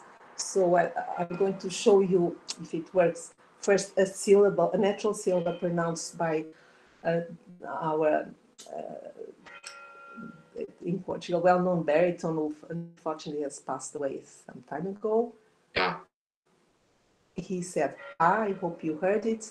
And he also pronounced the other syllable, ta. And now it's possible to cross-splice bits of ta, six millisecond bits of ta onto the pa syllable and construct a natural speech continuum. Um, I will show you briefly. It, it will be, I think, six stimuli and what I'll ask you is to uh, be aware of what you heard in the beginning and what you heard at the end and how, how did it shift from one to the other if they were different. So I'll present now the series of six stimuli in sequence.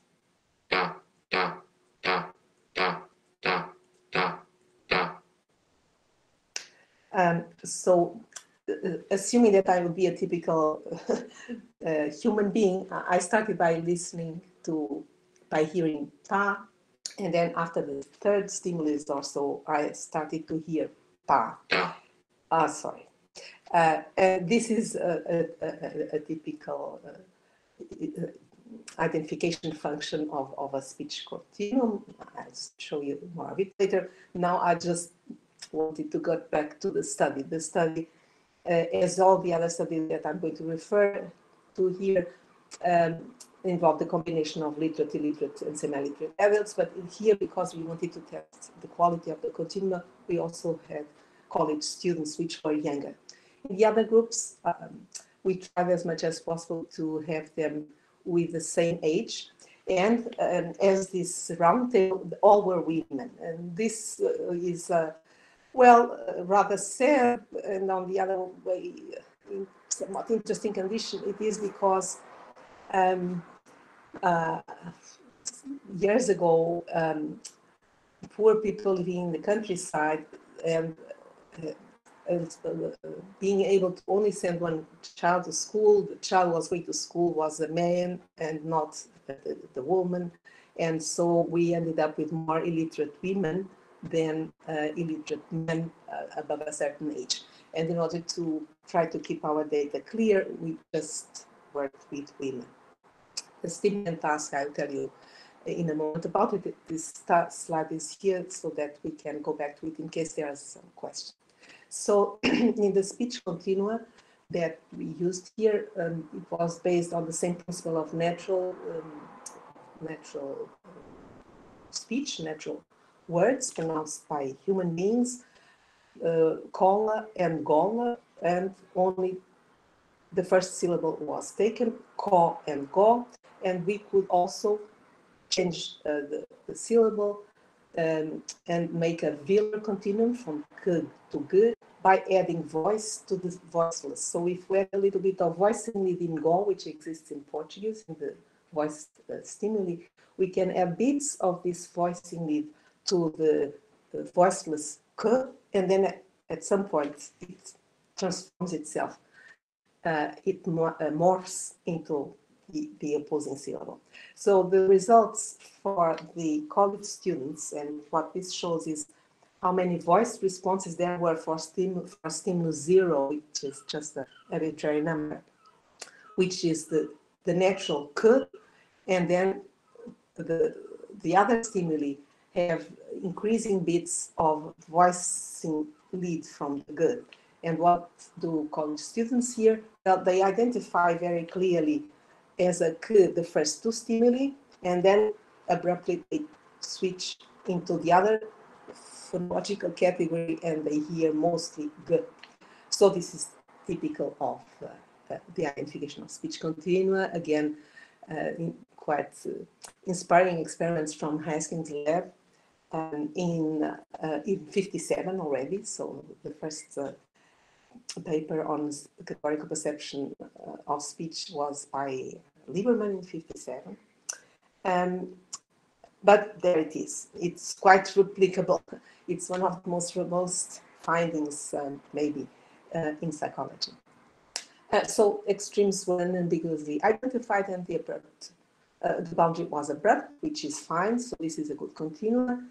And um, uh, we also have other continua. And just to make um, uh, a, sharp, a, quick point, if you see that um, we see here the effect of um, co-articulation because if instead of adding voicing, we removed voicing from the voiceless k, um, even without any any um, uh, removing all the voicing, there is co-articulation, and so the first stimulus is still a bit ambiguous, even for university students. Uh, so, uh, and we um, not only used the velar continuum, but also labial continuum between pa and ba, as shown here. And in both cases, you can see that the, the, the right hand side with voicing was removed and not added is not so good as the left hand side or voicing was added. Now the question, of course, is uh, how do illiterate adults do this uh, task? They are a bit older than students, so we will just compare them with the literate adults of similar age. And well, in the good continuum, they are basically unidentified, uh, undistinguishable. Uh, and semi-literates, let's say two. There's a bit of noise in the middle, but this, the extremes are still unambiguously identified and the boundary is abrupt. Um, in the other stimuli, uh, the situation was not so clear. In the labial uh, continuum, mostly uh, it was a bit different, and we can, from this data, um, conclude that there was uh, a literacy effect only in the sense that the extremes and boundaries were not so clear in the uh, illiterates as they were illiterates. But if we took only the subgroup of illiterate people um, and semi-literate people who identified clearly the, the endpoints, they had abrupt boundaries. So in the identification of speech continua, we found no evidence of robust literacy effects on the steepness of the boundary when the extremes were clearly identified, as I just told you. However, we found more instances of ambiguous categories. Uh, grossly speaking, as if uh, generally the perception was a bit more fuzzy.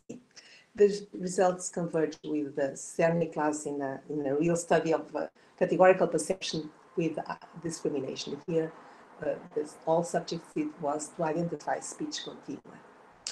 Um, let's move on to dichotic listening.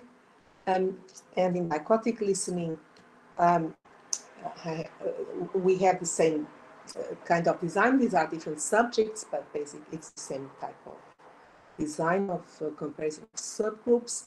And here, uh, I'm sorry, this slide has a little problem down there, but basically um, two uh, questions are of interest.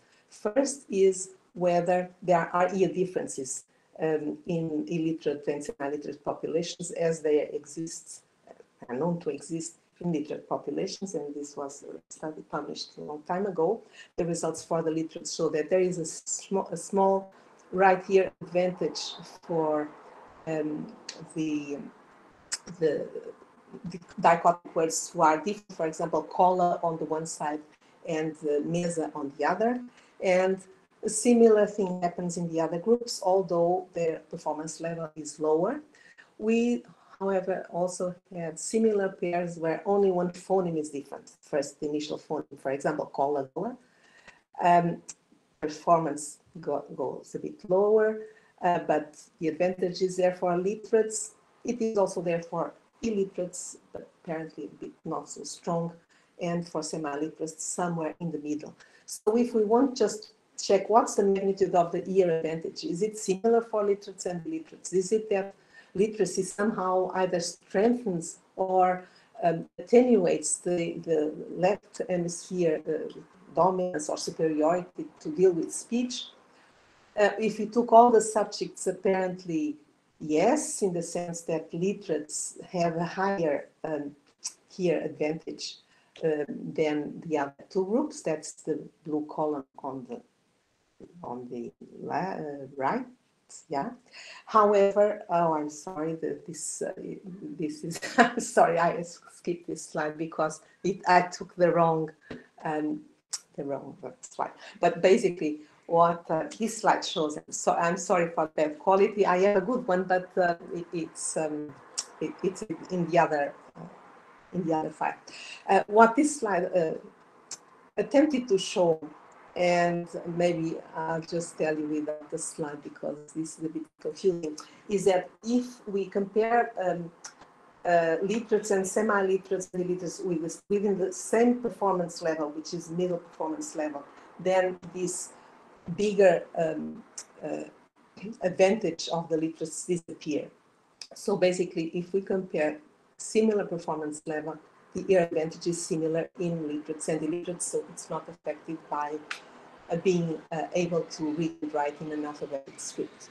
Another uh, point of this uh, design is that there are many errors, so there's a relatively reasonable quantity of errors, and we can analyze the types of errors that appear. And the analysis that we done, and that was uh, work by Morais and others and myself, uh, show that um, the proportion of error categories is different uh, in different groups, and the main difference is that the literates show more errors restricted to the first segment. So whether they are aware of the phoneme or not, the fact is that they err more locally in the first segment, uh, as opposed to the literates who, on the contrary, err more, make more errors in more other, many other segments. So it appears that it's not so focally um, directed to a single segment, uh, to this single phoneme. So um, from this set of uh, results, we can conclude that the right advantage indexing left hemisphere superiority is irrespective of literacy as an occurrence, as, whether it exists or not, um, which uh, be discussed in the literature and was discussed in the literature uh, because it was not clear. Uh, we have also higher performance level associated with the more with the stronger um, involvement of left hemisphere, and that was irrespective of literacy. However, the performance level was modulated by literacy and the pattern of misidentifications also because more single segment errors and fewer errors uh, in fewer global errors occurred in literates than in um, illiterates. Uh, another uh, interesting feature of dichotic listening is that it allows us to study phonological fusion. So for example, if on the one here we uh, are presented with fed and on the other we are presented with breath, we can have um, the percept that combines both segments and perceived fred. This uh, phenomenon has been intensely examined by Cutting in the 70s and we found a few interesting points about uh, this, that some phonemes are more likely to fuse than others, uh, such that, for example, uh, uh, there's more tendency to have phonological fusions with plosives um, than with fricatives, such that, for example, if you are presented with feathered if, and if you make a phonological fusion, this phonological fusion might be more easily be bred with the plosive than into the fricative. We use this kind of idea to see whether there were differences, whether in this case, whether illiterates would, would, would also fuse, because that would indicate that their speech processing system uses this segment uh, size uh, or sing, single size segment units. Um, uh, and we have these kinds of stimuli, cara lara, parlar. Those of you who speak Portuguese can easily realize that cara and lara can become clara, par and lar can become plar, and so forth. Well, to cut to the chase, basically, uh, and again, very much in the line of what Cutting in the 70s I've already mentioned, some pairs fuse very nicely, others do not. Uh, this shows the results of the literates, and you see that some pairs, well, the other pairs that are not here didn't fuse at all, so only these were able to induce uh, fusions. And um, they were very different uh, in frequency depending on the pair itself. But the illiterates also fused quite a lot. In fact, you took overall, they had more fusions than the literates. Um, and the semi-literates were somewhere sometimes closer to the illiterates, sometimes um, closer to the to the literates. And interestingly, where were the semi-literates closer to the literates? So let's concentrate on feliz, which is one, two, three, four, five, on the fifth word. And you can see that um, the written version of feliz has, um, has an epithetic E uh, vowel. So the, the, the, orthographic representation seg at segmental level of, um, the letters used has one more letter that is not typically present in the acoustic stream because we say flesh. We don't say feliz, as you in Brazil, but we say in Portuguese uh, from Portugal, flesh, and the same happens with blood. And in, you see that in those two cases, interestingly, the illiterate people who do not have, of course, this orthographic representation, they fuse because it's a L and L fuses very well. Um, but uh, the other two groups who have somewhere hidden this code of literacy, where have this representation of this mechanism that is able to uh, to use written language, it detracts them from fusing. So uh, quite interesting um, effect uh, that combines very well with the literature that uh, in the meantime is quite uh, clear. Um, so uh, the segments are recombined into single percepts in literates, whereas as in literates. The pattern of fusions is affected by orthography. Um, and um, this is another way to uh, document an effect that is, is stable, which is the orthographic effect in spoken word recognition that has been found in a variety of paradigms. So because I think I'm coming close to the time or I, I already exceeded, I'm sorry. So I'm going to uh, speed up now. Words in noise, very quickly, the same type of uh, design. Uh, and um, um, just to go directly to the point, let's concentrate on the graph on the lower hand. Uh, what this shows is the percent correct words identified in noise. The noise could be contralateral, that is the middle column, and, and binaural in both ears, which is a very difficult listening condition. And of course, we are able to understand many, much less words when they are embedded in noise in both groups uh, or in the three groups. But if we compare more, uh, more detail, uh, it appears that the decrease from the monaural and contralateral noise conditions to um, the binaural noise, it appears that the illiterates suffer more than the literates and the semi-literates. Um, just to spare you the details, we had several controls of this thing because the baseline of the literates was higher than the illiterates and of the semi-literates, but in both types of controls, the thing that emerged was that uh, even though performance level was modulated by literacy, the detrimental effect of binaural noise were disproportionately strong in illiterates. Uh, and also interestingly, also in, the, in how uh, the results correlated, for example, with um, with the digit span that we also measured.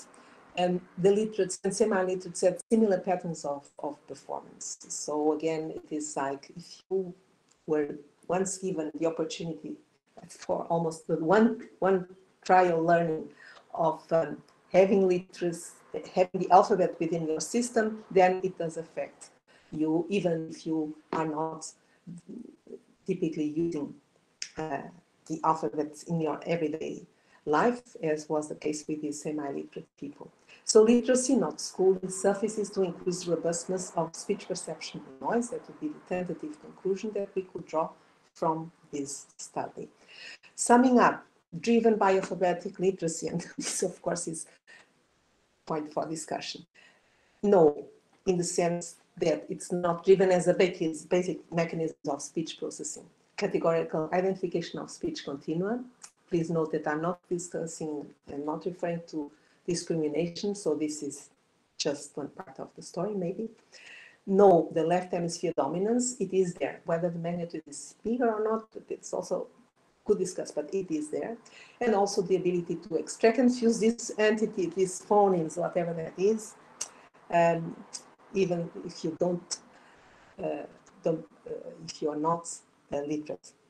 And yes, um, the functional relevance of the segmental representation for attention-dependent perceptual outcomes. This is a bit weird to say, but I again struggled with how can we say this without being biased and um, using heavy concepts without real meaning. So um, basically this means that if we have to perceive something, even though we don't have to exert some kind of awareness operation on that. Um, but for perceptual outcomes that are at some level attention dependent, um, literates, because they dominate the alphabetic code, oh, I mean, alphabetic literates, um, they are able to use these representations more than those who are not, who don't have them. And, and so it's also um, uh, an impact and important for the robustness of speech perception, which survives better in worse conditions of noise or dichotic listening. Uh, well, last but not least, I'd like to say that, um, of course, this much of this work and similar work has been inspired by this uh, paper and this idea that Jose mentioned a while ago of the awareness of speech as a sequence of phones, and and uh, the idea that even though we don't know exactly what it is, that um, our system, our mind brain captures um, these abstract units and how it deals with the speech stream. And so thank you very much for your attention. It's a pity that we cannot join in Porto or in Aveiro or in, in, uh, in Brazil, but maybe some other time we are able to do it and I hope that we are. Thank you again for your attention.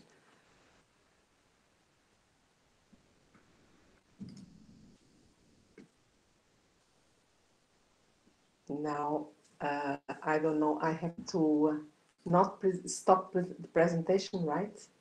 Yes, Yes, please. yes, please. Okay.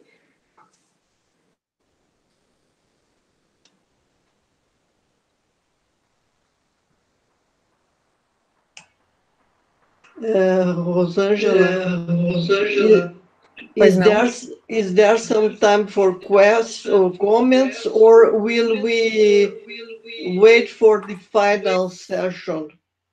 I think it's better if we have the three, the, the four talks, and then later we can discuss. I think it's better Sure. this way. Yeah, Regine? Yeah, three talks. Three talks, yes. Okay, so let's, uh, yeah, we already are a bit late, so I propose to go immediately to the second talk by Ana Luiza Navas. If she's still there, I can't see her again I'm here. anymore. I'm here. Okay, Yes, I'm uh, here. hello. so the Um, floor is yours. Okay, thank you. Um, I thank you very much for the invitation and for the organizing of this conference. I know it was not easy, but it was worth it. Just from the beginning, it's worth it already. Um, do you see the my presentation already? Yes, Ana. Okay. And so I thank Regine and uh, Rosângela for the for the invitation.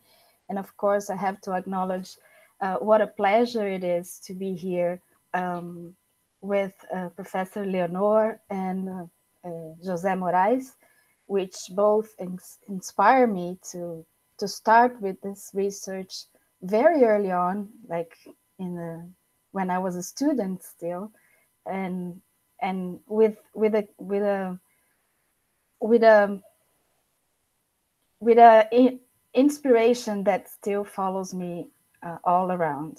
I'm sorry, I got a bit emotional remembering old times.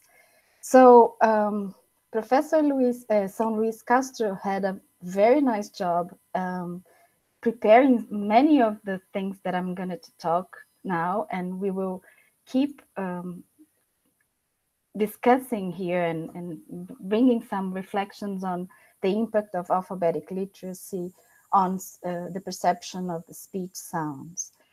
And um, I will just um, also acknowledge some of the early work on speech perception and um, my dear professors Studdert-Kennedy and Don Shankweiler, who very early on um, started to talk about the difference between auditory perception and speech perception. So the, the auditory system has in both hemispheres um, a way of extracting acoustic parameters of the speech signal, but it's the dominant hemisphere that is specialized in extracting linguistic information from the acoustic signal. At least at that point, that's what they they thought, and that that work influenced um, a lot of people to start looking at more detail. And in 67, they published a paper called Perception of the Speech Code.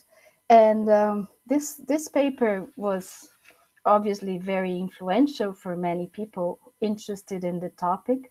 And 50 years later, um, some of the authors, um, and with the audition of Carol Fowler, uh, changed a little bit the, the title of the paper and revisited that topic, saying that speech perception, uh, after all, is alphabetic, or speech is alphabetic after all. So showing already that um, the implications of the uh, uh, alphabet uh, on the perception and, and, and our language um, processing in general.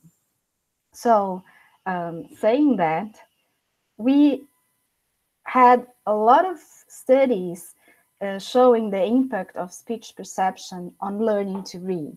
So this this is clear from um, the the way we perceive uh, speech and all sorts of phonological tasks, metaphonological tasks, being um, related to to the easy that we learn how to read and write and the the better uh, phonological processing, uh, the easiest it is to to acquire some some of the early uh, steps of reading, and also many studies relating to to the deficits in in phonological processing related to uh, difficulty in learning to read. So that is very clear for many, uh, even though we are talking about and we have to consider uh, what Professor Morais just said in his previous talk. Um, but it is very clear that um, for the comparison between readers in non-alphabetic scripts and alphabetic scripts, this um, this role of uh, phonological processing is very different.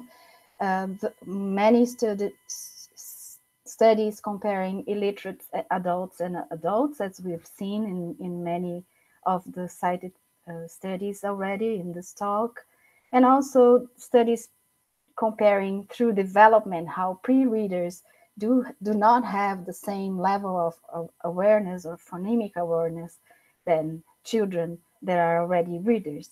So um, it seems that in this direction, there is um, uh, lots of evidence showing the influence of uh, the abilities to perceive speech or to process in this metaphonological way uh, in learning to read. But our question is what happens when then we learn to read? Um, so what are the changes in our uh, language system? And uh, right, right now we're just talking about language, but we know that there's much more to that, as we, we heard from Jose Morais' talk. Um, but several things happen then when we learn to read. And the, the question we wanted to ask with this, uh, with this study is, was that um, once we learn how to read and write, and I am not, I'm not talking about comprehension or other more complex levels of, of reading, but just the fact that we identified words and we have the connection between orthography and phonology that in turn may change the way we perceive and we process uh, phonological units. So we we set up um, to to do a task um, most most uh, known for for several you, but since it's it's um, has this little details, I will take a few moments to, to describe a categorical perception task as we used in, in the experiment, and then I will describe uh, what we did in, in this study. So um, the same way that Professor uh, Castro showed, so we can we can produce a continuum of uh, uh acoustic changes from a here we used in, in the experiment, we, we, we will talk about de and te.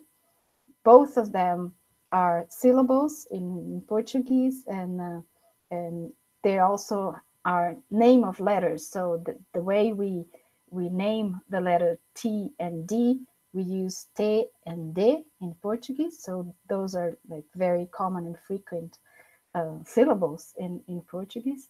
And we can um, provide um, manipulation and of the voicing continuum here. So they're the same in manner and way of pronunciation and place of pronunciation, uh, but they, they differ in the voicing continuum.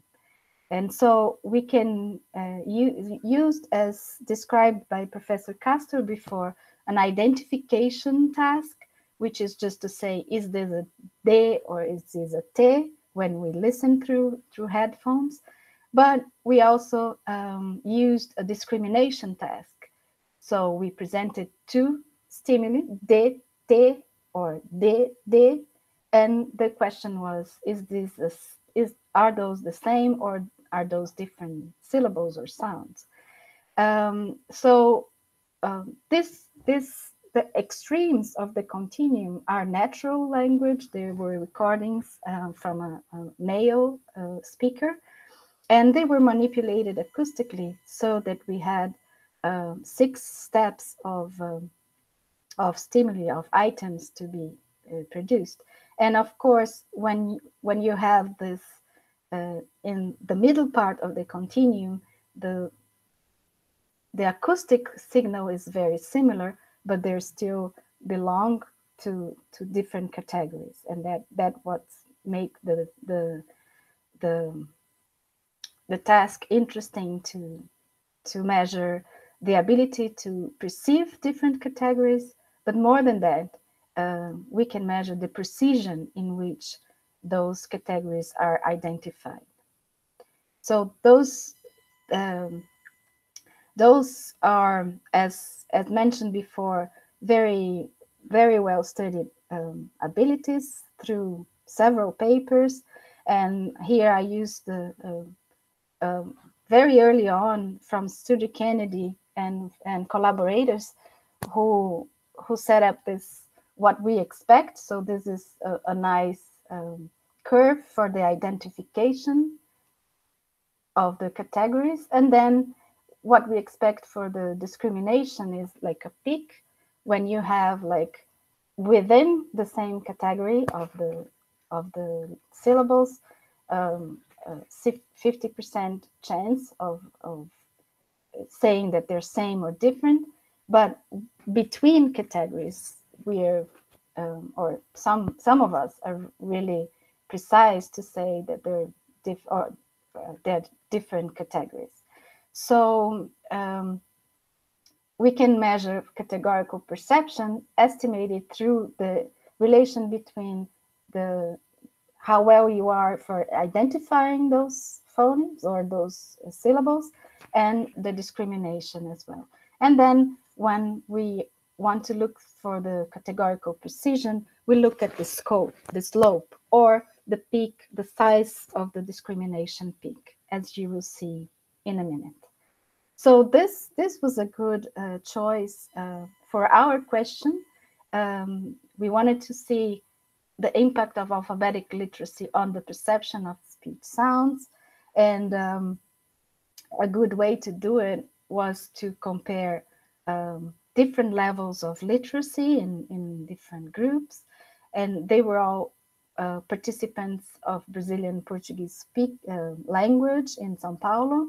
All of the participants come from a low socioeconomic status, um, as as you might uh, understand. And also they were screened for auditory uh, skills, like basic auditory skills, since it was mainly an auditory task.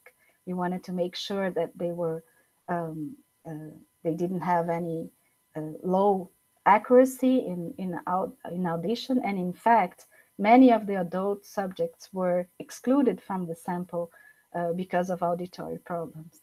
And we also screened for uh, some basic cognitive with a mini mental state examination um, with with uh, the scores for for an uh, illiterate or unschooled population.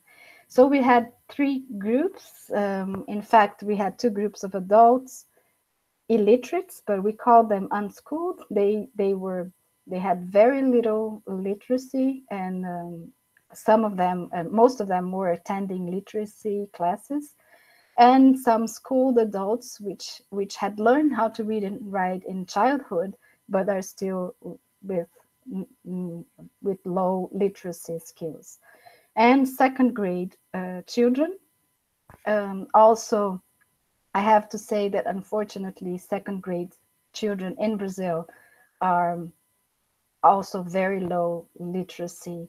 They're still not fully literate at this age.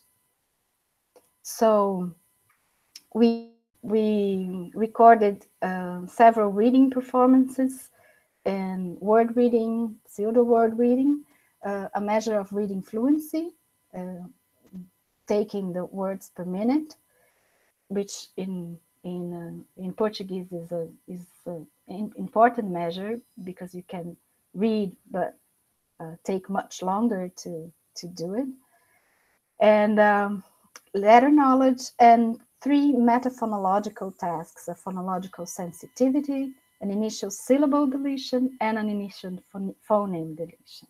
And um, we added a rapid autom automized naming for objects and digits.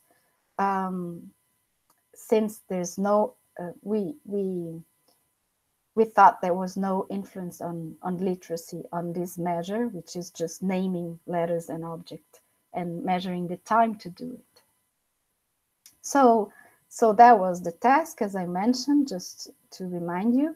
So we presented uh, subjects with first the identification task, whether they had to listen and say if it was a they or a and the discrimination task just after that.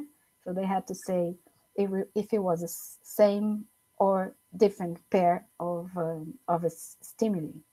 So the they uh, had no problem in performing the task. They all understood what what was um, the task uh, and um, performed like several uh, samples of it so that we we got nice curves here and so this is the result for the identification task as mentioned by uh, the same way for several other studies there was no difference between the groups and uh, we tested before the difference between the two groups of, of adults and also uh, the unschooled adults and children. And so for the, the identification, there was no difference between them. So they all recognized uh, clearly the, the isolated syllable presented.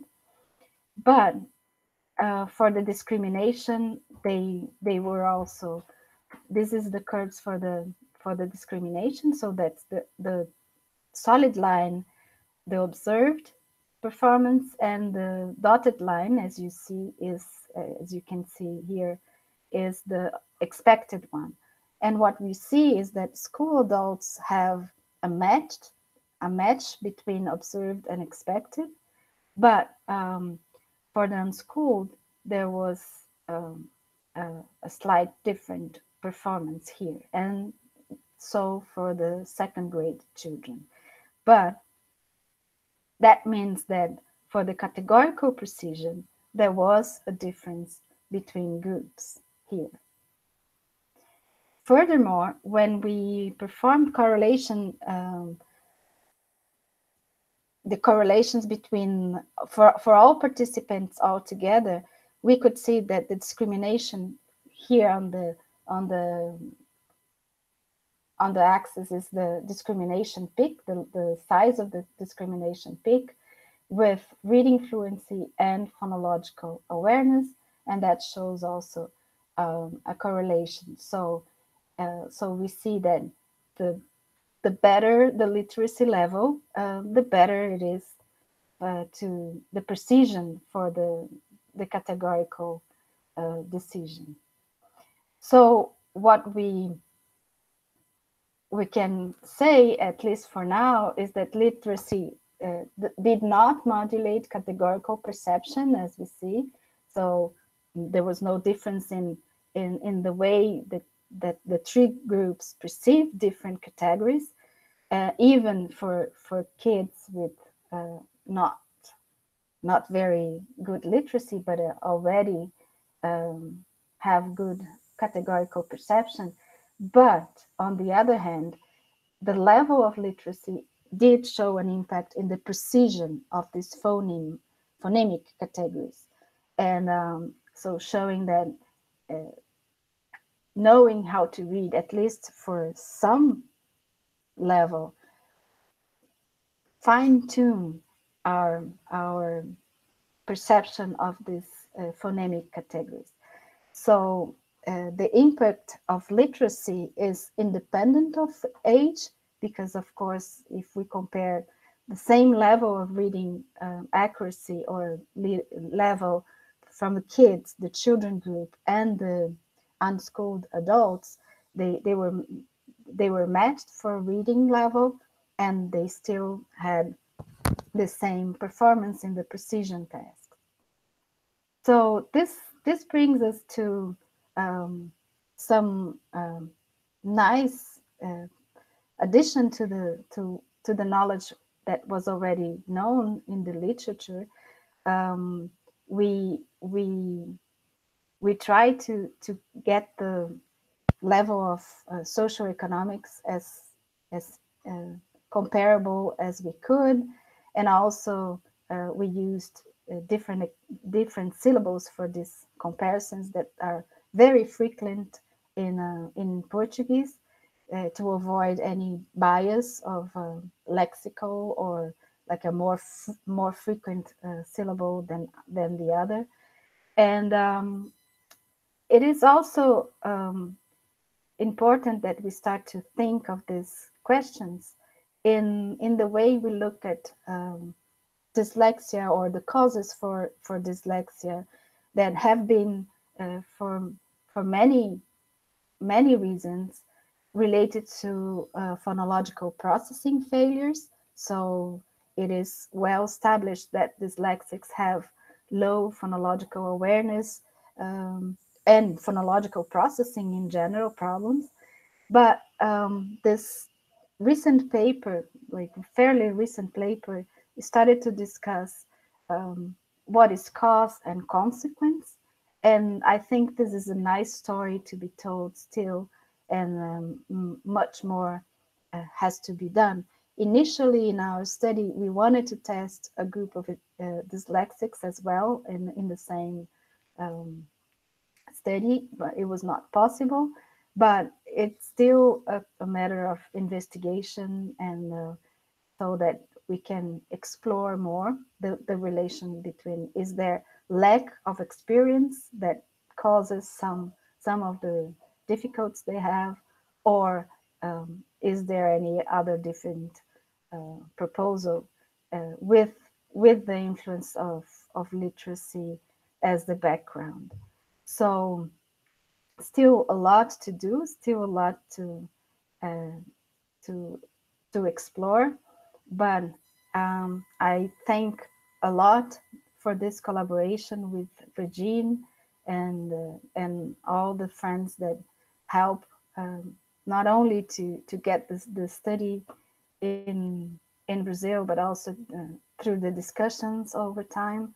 And um, I will I will end it with a with a quote in in Portuguese, but I will translate that one of our subjects from this study um, said that it's important to to learn how to read and write because when you see a name and you don't read or you cannot read it's like being blind. And um, he explicitly asks me to every time i talk about this study or of illiterates that i that i remember that we're talking about people.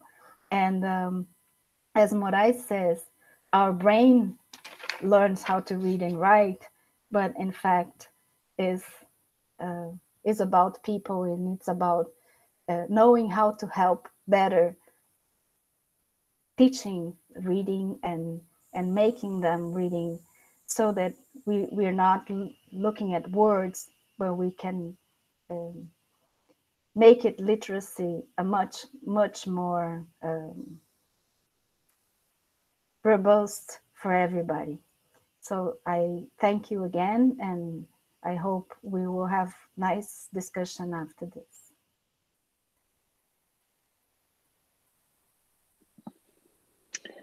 Thank you very much, uh, Ana Luiza.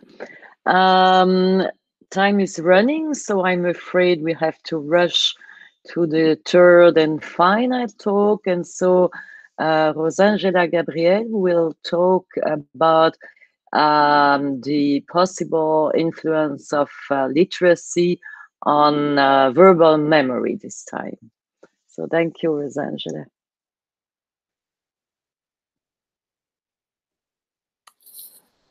Good. I think, great. Now I can start presenting from, uh-oh, just a second, from the beginning.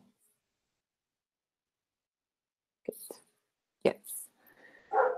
So, um, well, good morning now officially has a uh, someone who is going to to talk a little bit. I um, so we have this uh, the, the this roundtable is called the impact of literacy on verbal memory and speech processing and i want to thank regine uh, são luis castro and ana luiza for uh, joining us uh, in this uh, roundtable i think this is a very nice moment for all of us so thank you for very much for accepting and for being together in this roundtable.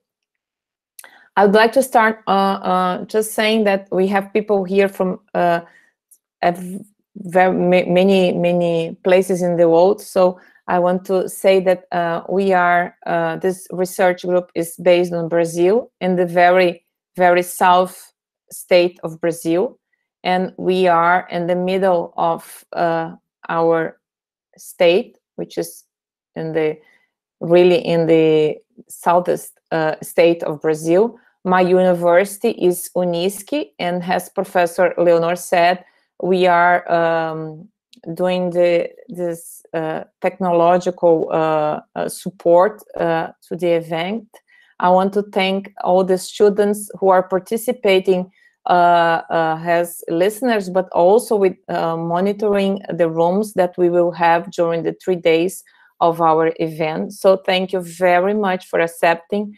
I don't know if you are aware, but today is a holiday in Brazil. So it's a national holiday. And uh, so for us, it's uh, an extra effort because uh, students would be uh, uh, in a holiday today, but they will be working with us. So thank you very, very much for um, this uh, extra effort during the three days uh, of holiday at our university and that you will be all working with us. Thank you so, so much.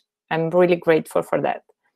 I'm also grateful for the group uh, at uh, ULB, which is part of the um, work I will show you. Was uh, uh, really um, uh, Regine Kolinsky and also Catherine Demoulin they are very, uh, and Professor Jose Morais, they are uh, with both hands in all the data will and things I will present. So um, I had the opportunity to spend uh, one year in 2015 with Professor José Morais and Professor Regine Kolinsky at University uh, Libre de Bruxelles and so I'm really uh, grateful for the opportunity that I um, had. So um, thank you. So thank you to the other people who had contributed to the work as well. Well, I would like to start uh, going very far from the uh, uh, scientific uh, uh, world and going to uh, just um, maybe you have seen this movie or maybe you have heard of this movie So a few years ago, Arrival was launched. It's a movie based on a short story. This is the book of the short story. So Arrival is a science fiction drama film based on the short story Story of Your Life by Ted Chiang. And in this uh, story, uh, extraterrestrials have come to help humanity. They teach a linguist their language, which changes humans' linear perception of time, changing the awareness of time, allowing them to experience memories of future events. So their language is not linear, their language is more circular, like this. So uh, uh, the science fiction can uh, uh raise questions that we wouldn't uh, dare uh, to ask in a paper but it's interesting to think about them. So does our sequential speech or our sequential written language shape a sequential mind? Or alternatively, is a sequential mind responsible for the sequential speech and sequential written language? And uh, could we think about having a, a, uh, an alternative non-sequential mind alternative to ours? So those are the questions um, uh, the, the book and the movie uh, raise. So I thought that would be interesting to start thinking about this sequential uh, uh, uh, uh kind of thinking that we have, because uh, sequential order is very important for us in terms of reading abilities. So now I, I, I go for the uh, uh, really uh, our more, um, I would say, serious uh, talk, but I would like to just um, make this alternative way to think um, arise from our beginning to to to think about literacy. Has and schooling uh, has two uh, uh, strong um, uh, uh, ways to carve our verbal serial order memory and this work was uh, really a collaborative work so that's why we have here Regina and me so so this is a little bit of what we will have in this talk. Uh, so in what extent the acquisition of, lift of literacy transforms the human memory? This is the basic question that we are asking here.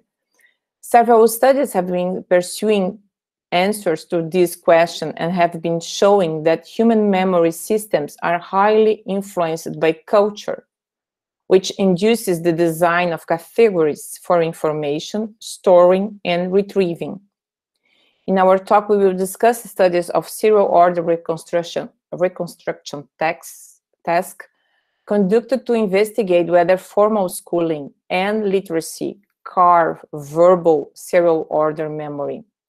We will have three experiments. The first uh, with the um, children in Brazil, the second with children in Brussels, and the third with adults. Um, and the three experiments have the the the intention to uh, see in which uh, uh, level serial order reconstruction performance is um, um, related to literacy abilities. So we can start asking what's memory? So we we we usually have this uh, um, um, definition that memory is the acquisition, formation, maintenance, and evocation of information. But also, it's important to think about memory as the way we represent information in our brain. So this is uh, uh, uh, the, the the question is how we represent the information that we have in our brain. Uh, and when we think about memory, we we can uh, uh, think about different types of memories according to dura duration, contents, awareness, verbal uh, memory. And different models focus on different aspects of human memory. So I brought here uh, uh, three models, the evolution, the first model, so just with the three components. Then later, the second model, uh, which is much more complex. And then the, the third model uh, of um, working memory. And also brought, uh, just to, to bring to mind, the model of Cowan where he is more uh, um, um, concerned about attention control uh, and how attention control will uh, activate part of the information in long-term memory.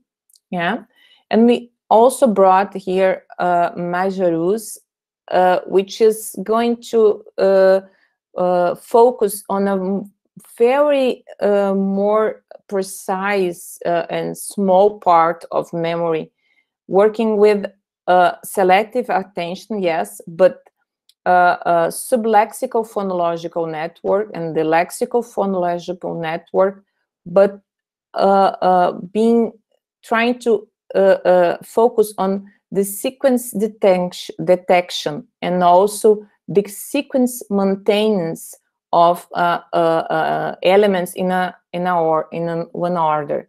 So if you think about our everyday world, we we can have memory for items. For example, I have to bring five items from the supermarket. Supermarket. So it doesn't really matter what uh, items I will have in my basket first, because as far as I bring the five items home, I'm happy uh, with that uh, solution. But regarding reading, it doesn't work like that. You have to keep uh, uh, track of the items themselves, but you also have to keep track of the, the sequence the items are because you have different words depending on uh, one sequence or the other. So you have to keep track of two kinds of memories, the item memories and also the maintenance, maintenance of sequence. So this is really what we are looking at at this um, paper here. So when we work with working memory uh, tasks, working memory span, we, uh, this is a citation from Cowan, the distinction between, between short-term memory and working memory is one that depends on the definition that one accepts. So we have different definitions and we have different uh, uh, names for uh, the concepts. Nevertheless, the substantive question is why some tests of memory over the short term serves has some of the best correlates of cognitive aptitudes, whereas others do not. So this is the solution uh, Cowan brings to the problems of uh, different categories uh, and different concepts of working memory. So it's highly accepted that temporary memory acts as a bottleneck for learning, with weak memory capacities leading to learning difficulties, including the literacy acquisition. However, However, it's not the word, uh, right word, but additionally, we can add another question that is put by Demoulin and Kolinsky in a paper in 2015. Do the reverse question uh, also be true? Does learning to read improve verbal working memory? So, okay, working memory is important to, for learning, but learning to read also have a, uh, washback effect also go uh, uh improves working memory? This is the question um, Demoulin and Kolinsky made.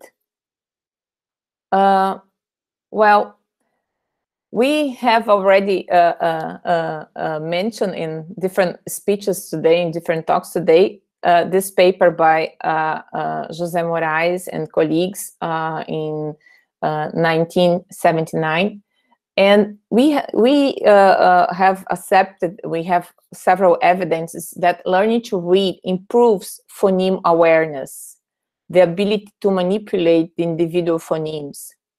Also, learning to read impacts the recall of serial order because while decoding, singular letter sounds must be added and kept in order to form words, training the brain for serial order processes. And learning to read boots explicit representations of speech in different layers because language awareness comes in layers. You can have phonological awareness, morphological awareness, lexical awareness, syntactic and textual semantical awareness. Uh, but when we go for testing uh, uh, um, the impact of uh, literacy, we have a little bit of trouble because as uh, uh, stated in this paper by Dehaene, Cohen, Morais, and Kolinsky, 2015, we have methodological considerations in literacy research because when we compare unschooled illiterate adults with school literate adults, we, we have the effect of literacy and schooling. So this is something that we have also, we have to keep in mind that we have these two components uh, uh, interacting. And also when we uh, follow children, um, so looking at their performance in different levels, we also confound literacy with schooling in age.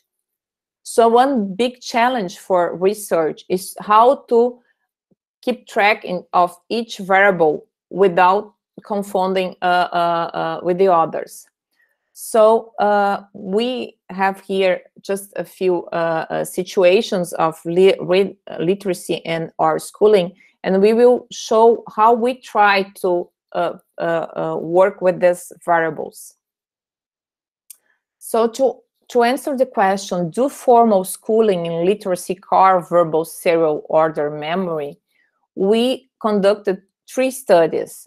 The first one was conducted in, uh, with 120 Brazilian children.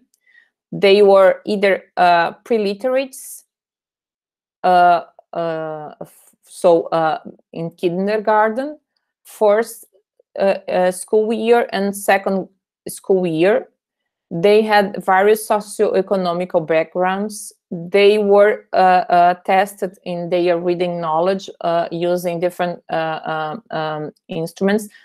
so letter knowledge, complex grapheme knowledge, phoneme sensibility, initial syllable detection, deletion, and the task was a serial order reconstruction task adapted by Majerus et al.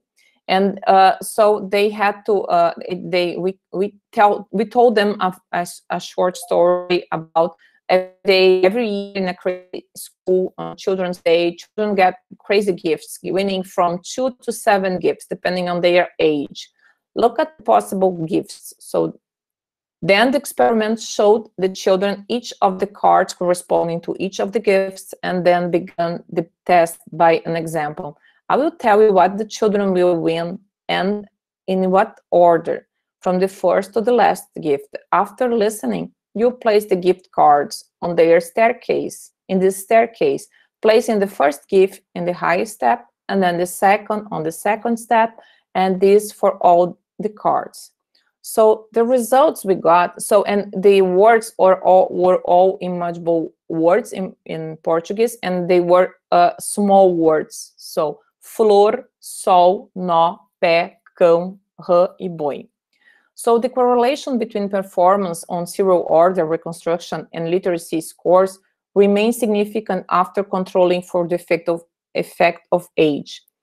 Uh, so the data suggests that schooling and or literacy in addition to age are related to serial order memory.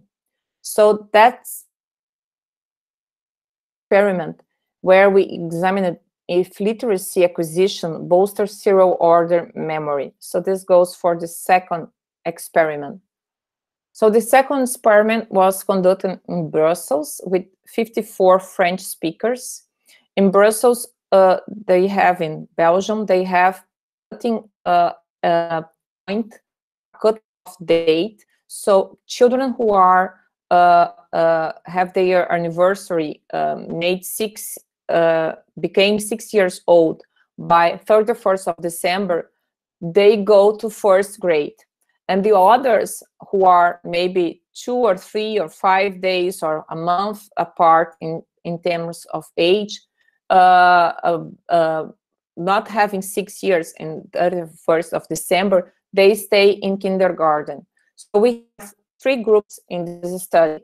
The children who are uh, in kindergarten, uh, the children who are young, first graders, and children who are the older first graders. Okay, so this is the way to to uh, uh, look um, to keep keep uh, track of uh, the age um, difference. Uh, they also were tested in many reading uh, knowledge um, aspects, and they also perform a very similar serial order reconstruction test. So the serial order reconstruction performance was significantly correlated with all the literacy related scores. Uh, uh, for word reading, pseudo word reading, phoneme deletion, uh, uh, uh syllable deletion, and um, so data supports the idea that development of serial order memory in children is more related to school activities and in particular to literacy acquisition than per uh, to age per se. Uh, the third experiment, we examined whether schooling levels in literacy acquisition are also related to serial order memory in ad adults uh, uh, uh, uh participants. So the third experiment was done with 35 Brazilian adults uh, they were all uh, uh, from low uh, incomes. Uh, they vary in um, levels of schooling and literacy. 10 had not attended school at all, so they were the illiterates. And 25 had attended school, but they vary a lot in terms of their reading knowledge. Okay. Um, and we had uh, reading uh, knowledge tested and also short-term memory tasks.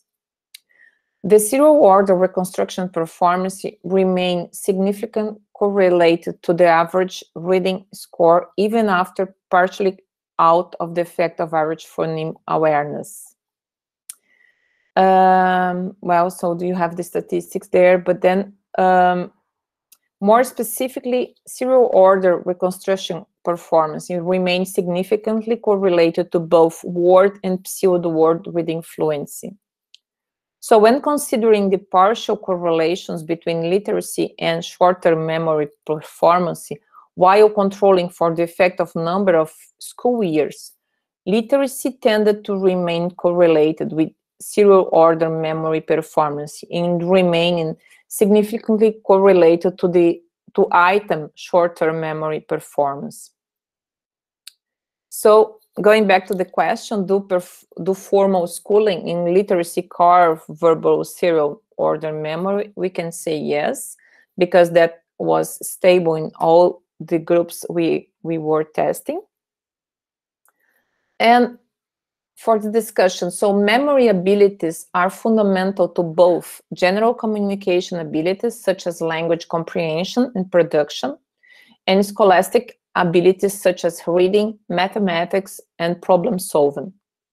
In addition, the present study results suggest that the converse relationship also holds true, namely that growth of memory abilities, at last, at least of verbal order memory depends on the exposure to formal schooling, and particularly to, on literacy acquisition. In the present case, when both the task and the material are easy for all age groups, it seems that it is the power of the schooling experience, including literacy acquisition, that shapes memory for serial order. Taken together, both studi studies provide further empirical support for the role of schooling and its related experience, such as literacy acquisition, the development of verbal memory.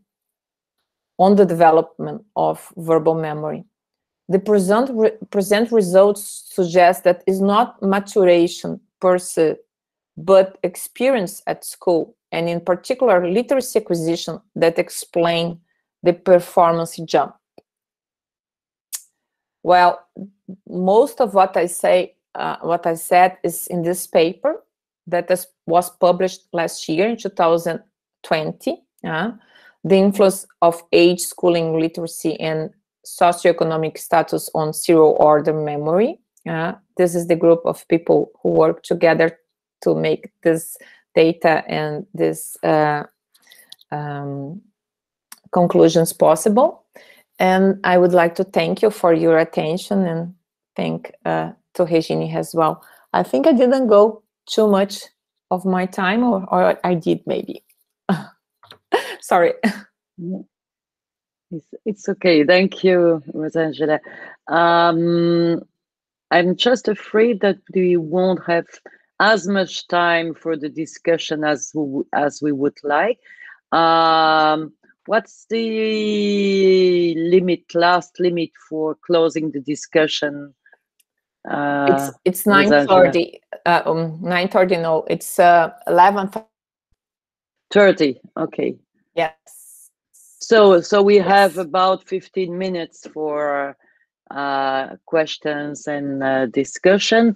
So um, maybe I will ask to the public, to the audience to uh, ask a question immediately. Oh, I see Jose who has a question.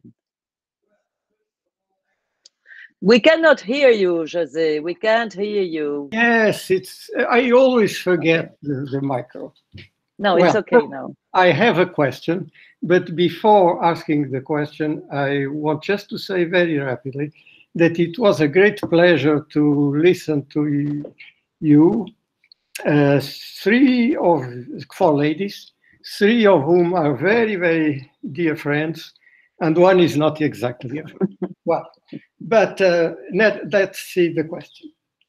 Uh, I thought during the, this uh, your presentations that there is something that we never uh, asked or tried to know.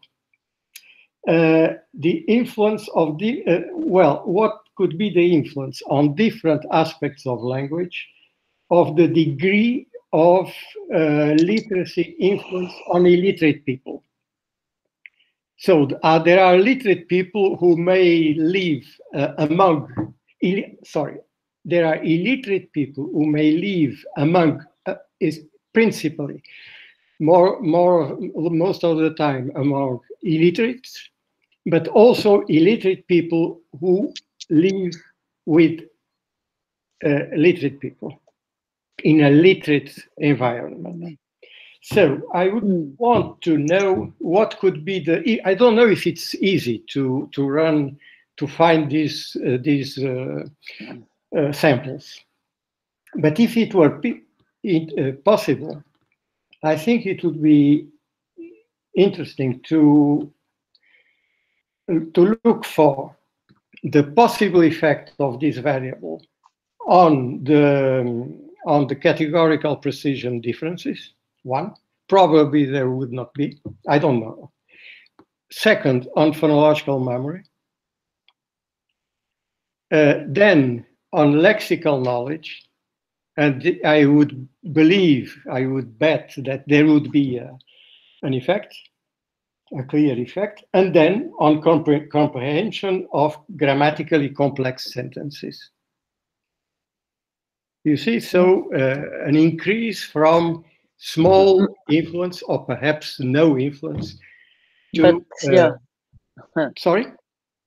Yeah, but I'm not sure that it has never been done. I mean, it has never been done as regards memory nor as regards um, speech perception.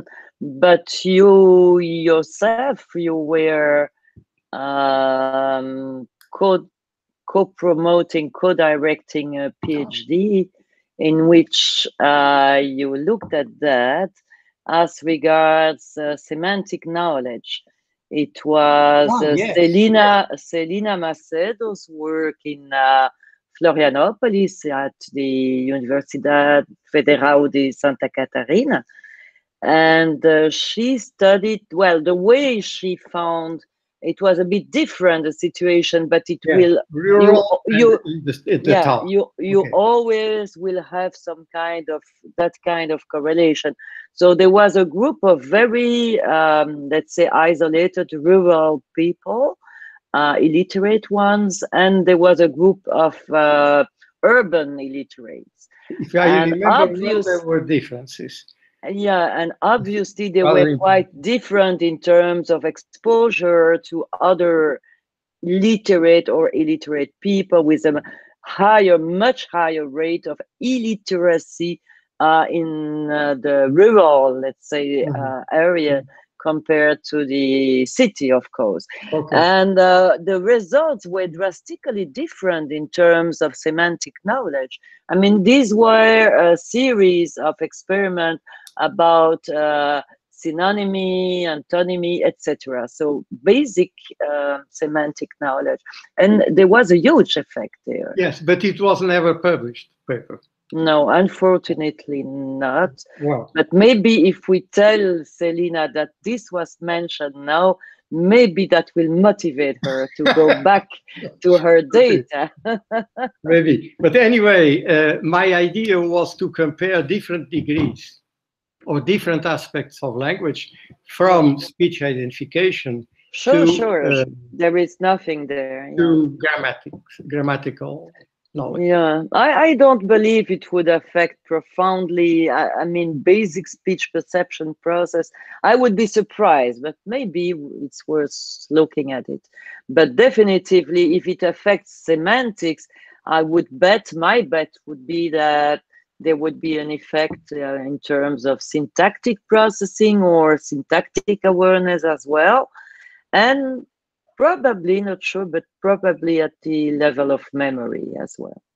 Yeah, but I would bet That's more my bet, greater I effect mean. for grammatics than for uh, lexicon. Sorry? I would bet uh, uh, that we would get a bigger effect for grammatics than for uh, lexicon. Or, uh, okay, Well, it's just a bet. Not sure. Well, I like to bet. okay. okay, the bet is open. Who wants to join? okay, is there another Regine, question? Thank you. Regine? Yes, Yes. yes, Leonor. Uh, it, it, it was a so rich round table that I have a lot of uh, comments to make. Uh, thank you for all, all these magnificent presentations. But first of all, uh, I want to discuss something that I think it's, it's in some way neglected. The first step for processing in reading, the beginning, is recognizing the letter figures. Mhm. Yes? And these do not depend upon uh, uh, phonemic awareness. Because you see, for example, you have the write the word late, L A T A. For recognizing the figures, letters, it does not depend upon the language. It depends upon the system. For instance, we we adopt the uh, uh, Roman uh, alphabet. Okay. It, it is the same for English written uh, text, for French written text. And so the features, the invariant features, what we must recognize are the infer- invariant features in the occipital temporal left region. This is done first. It is uh, automatic, not consciousness, and very, very, very fast, but it must be done. And so letters do not have sounds. Hmm. Letters do not have sounds. Grapheme, graphemes have values that is, they represent phonemes. And for, instance, for instance, in the word massa, in Portuguese, M A S S A, we have four letters, but we have, uh, sorry, five letters, but we have four graphemes and we have four phonemes. So, right, so this, I, I think that it's, we must, we, we must make this distinction. And I think that uh, uh, uh, there are no so many uh, research made about that specific point, uh, which must be done. I have some um, some uh, punctual comments, uh, uh, and uh, I want specifically direct for each of each one of the presenters. Uh, is uh, São Luis Castro. Uh, I think that there is this point was very well discussed in Rosângela Gabriel uh, presentation. I think that classifying the groups only attending to the grades, it's not it, it's not uh, enough. Because, for instance, in Brazil, we have students in the ninth grade that are functional Ill illiterate. Yeah. Sure. I think that, uh, for instance, Rosângela uh, show, showed, spoke about other instruments for classifying the groups. So this is uh, something I, I want to, to uh, comment. Now, uh, about, uh, uh, now it is, um, sorry. It is the second presenter that was, no, uh, Ana Luiza. Yes. Hmm? Ana, Luiza? Ah, Ana Luiza Nava.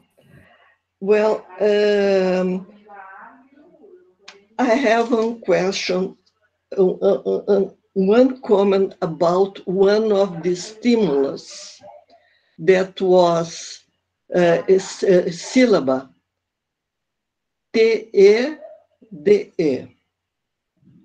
Notice that if it was written to be read, to be recognized as T or D, it should have this circumflex accent because it, it would be a stressed syllable. Most part of the Brazilian sociolinguistic uh, varieties, they pronounce this unstressed syllable as chi, ji, which is uh, a palatized and affricated first consonant. So uh, it would be totally different. Yeah, but I- it was I- purely auditory, Leonor. It was Yeah. purely auditory. It was just Only auditory. I know, I know, but even though, even though I thought about that, the isolated syllable,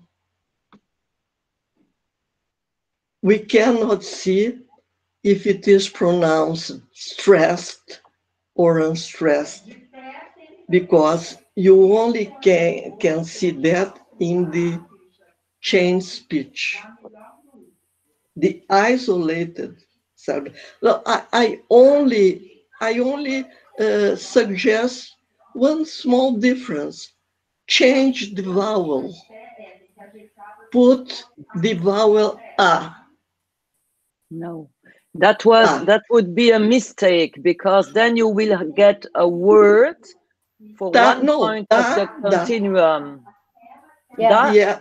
Yes. that yes. is a but, word. But, but, but- no, sorry, but there is the third person singular of the Yeah, yeah, yeah.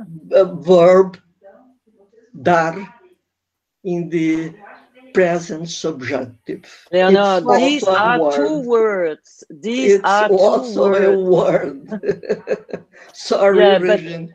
No, There no, is no, also a Leonor. I'm sorry.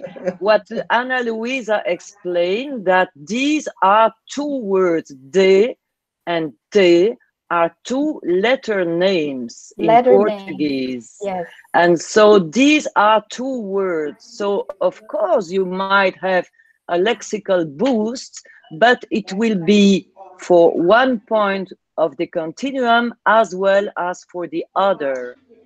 And Yes. we already Regine, we already did observation. experiment with the A letter, and that is a mistake we did in our 2005 paper with Willy Serniclaes, because then you get one of the endpoint with a, a word and the other not, and that is unbalanced. So it's better Yes. to, you are right to say that it's a word, but the other is a word as well, and that is important. The Right. name of the word in most part of the dialects is said chi and g. Sorry, the name of the letters. The- I, the- I the don't Yes. think so in São The majority, the majority of the varieties, in the majority of the varieties, they pronounce chi and g. But anyway, this is something, uh, only a suggestion. I have um, uh, some uh, uh, uh, comments about uh, uh, Rosângela presentation, some suggestions also. You began your presentation talking about uh, the types of memory and uh, the problem of sequentially processing. And I, I was thinking that uh, sequentially processing is one of the characteristics of the left hemisphere uh, comparing if the right one with with the, the major major characteristic. Uh, usually we made this distinction that the uh, Jose can correct my my comments but usually we contrast um, the main characteristic of the right the left hemisphere is sequentially processing uh, and the right one is the holistic global one. This is one comment. And uh, the- another comment is uh, uh, you did not mention two types of memory uh, the declarative and procedural man, uh, processing that I think that is is uh, worth worth considering.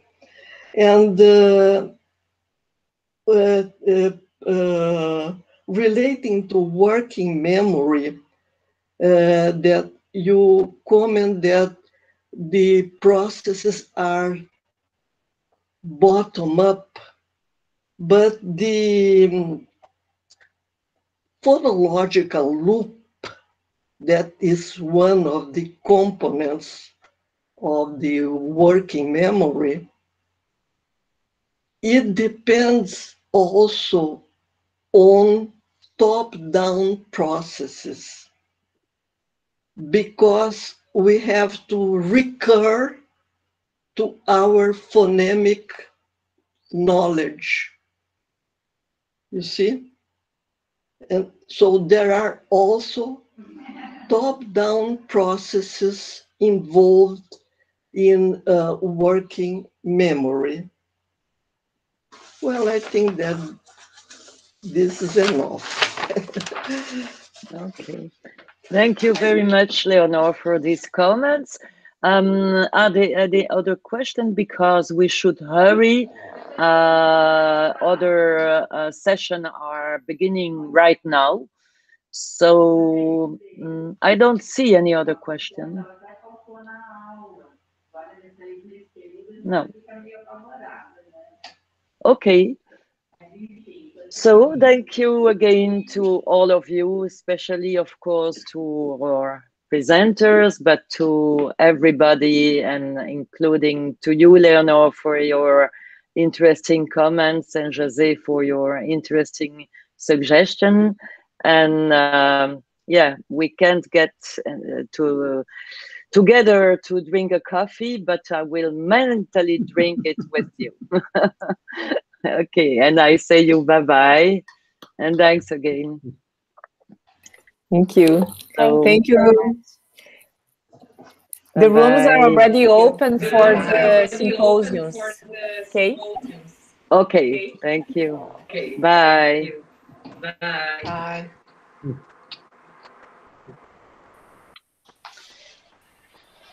Let's uh, rest a five minutes.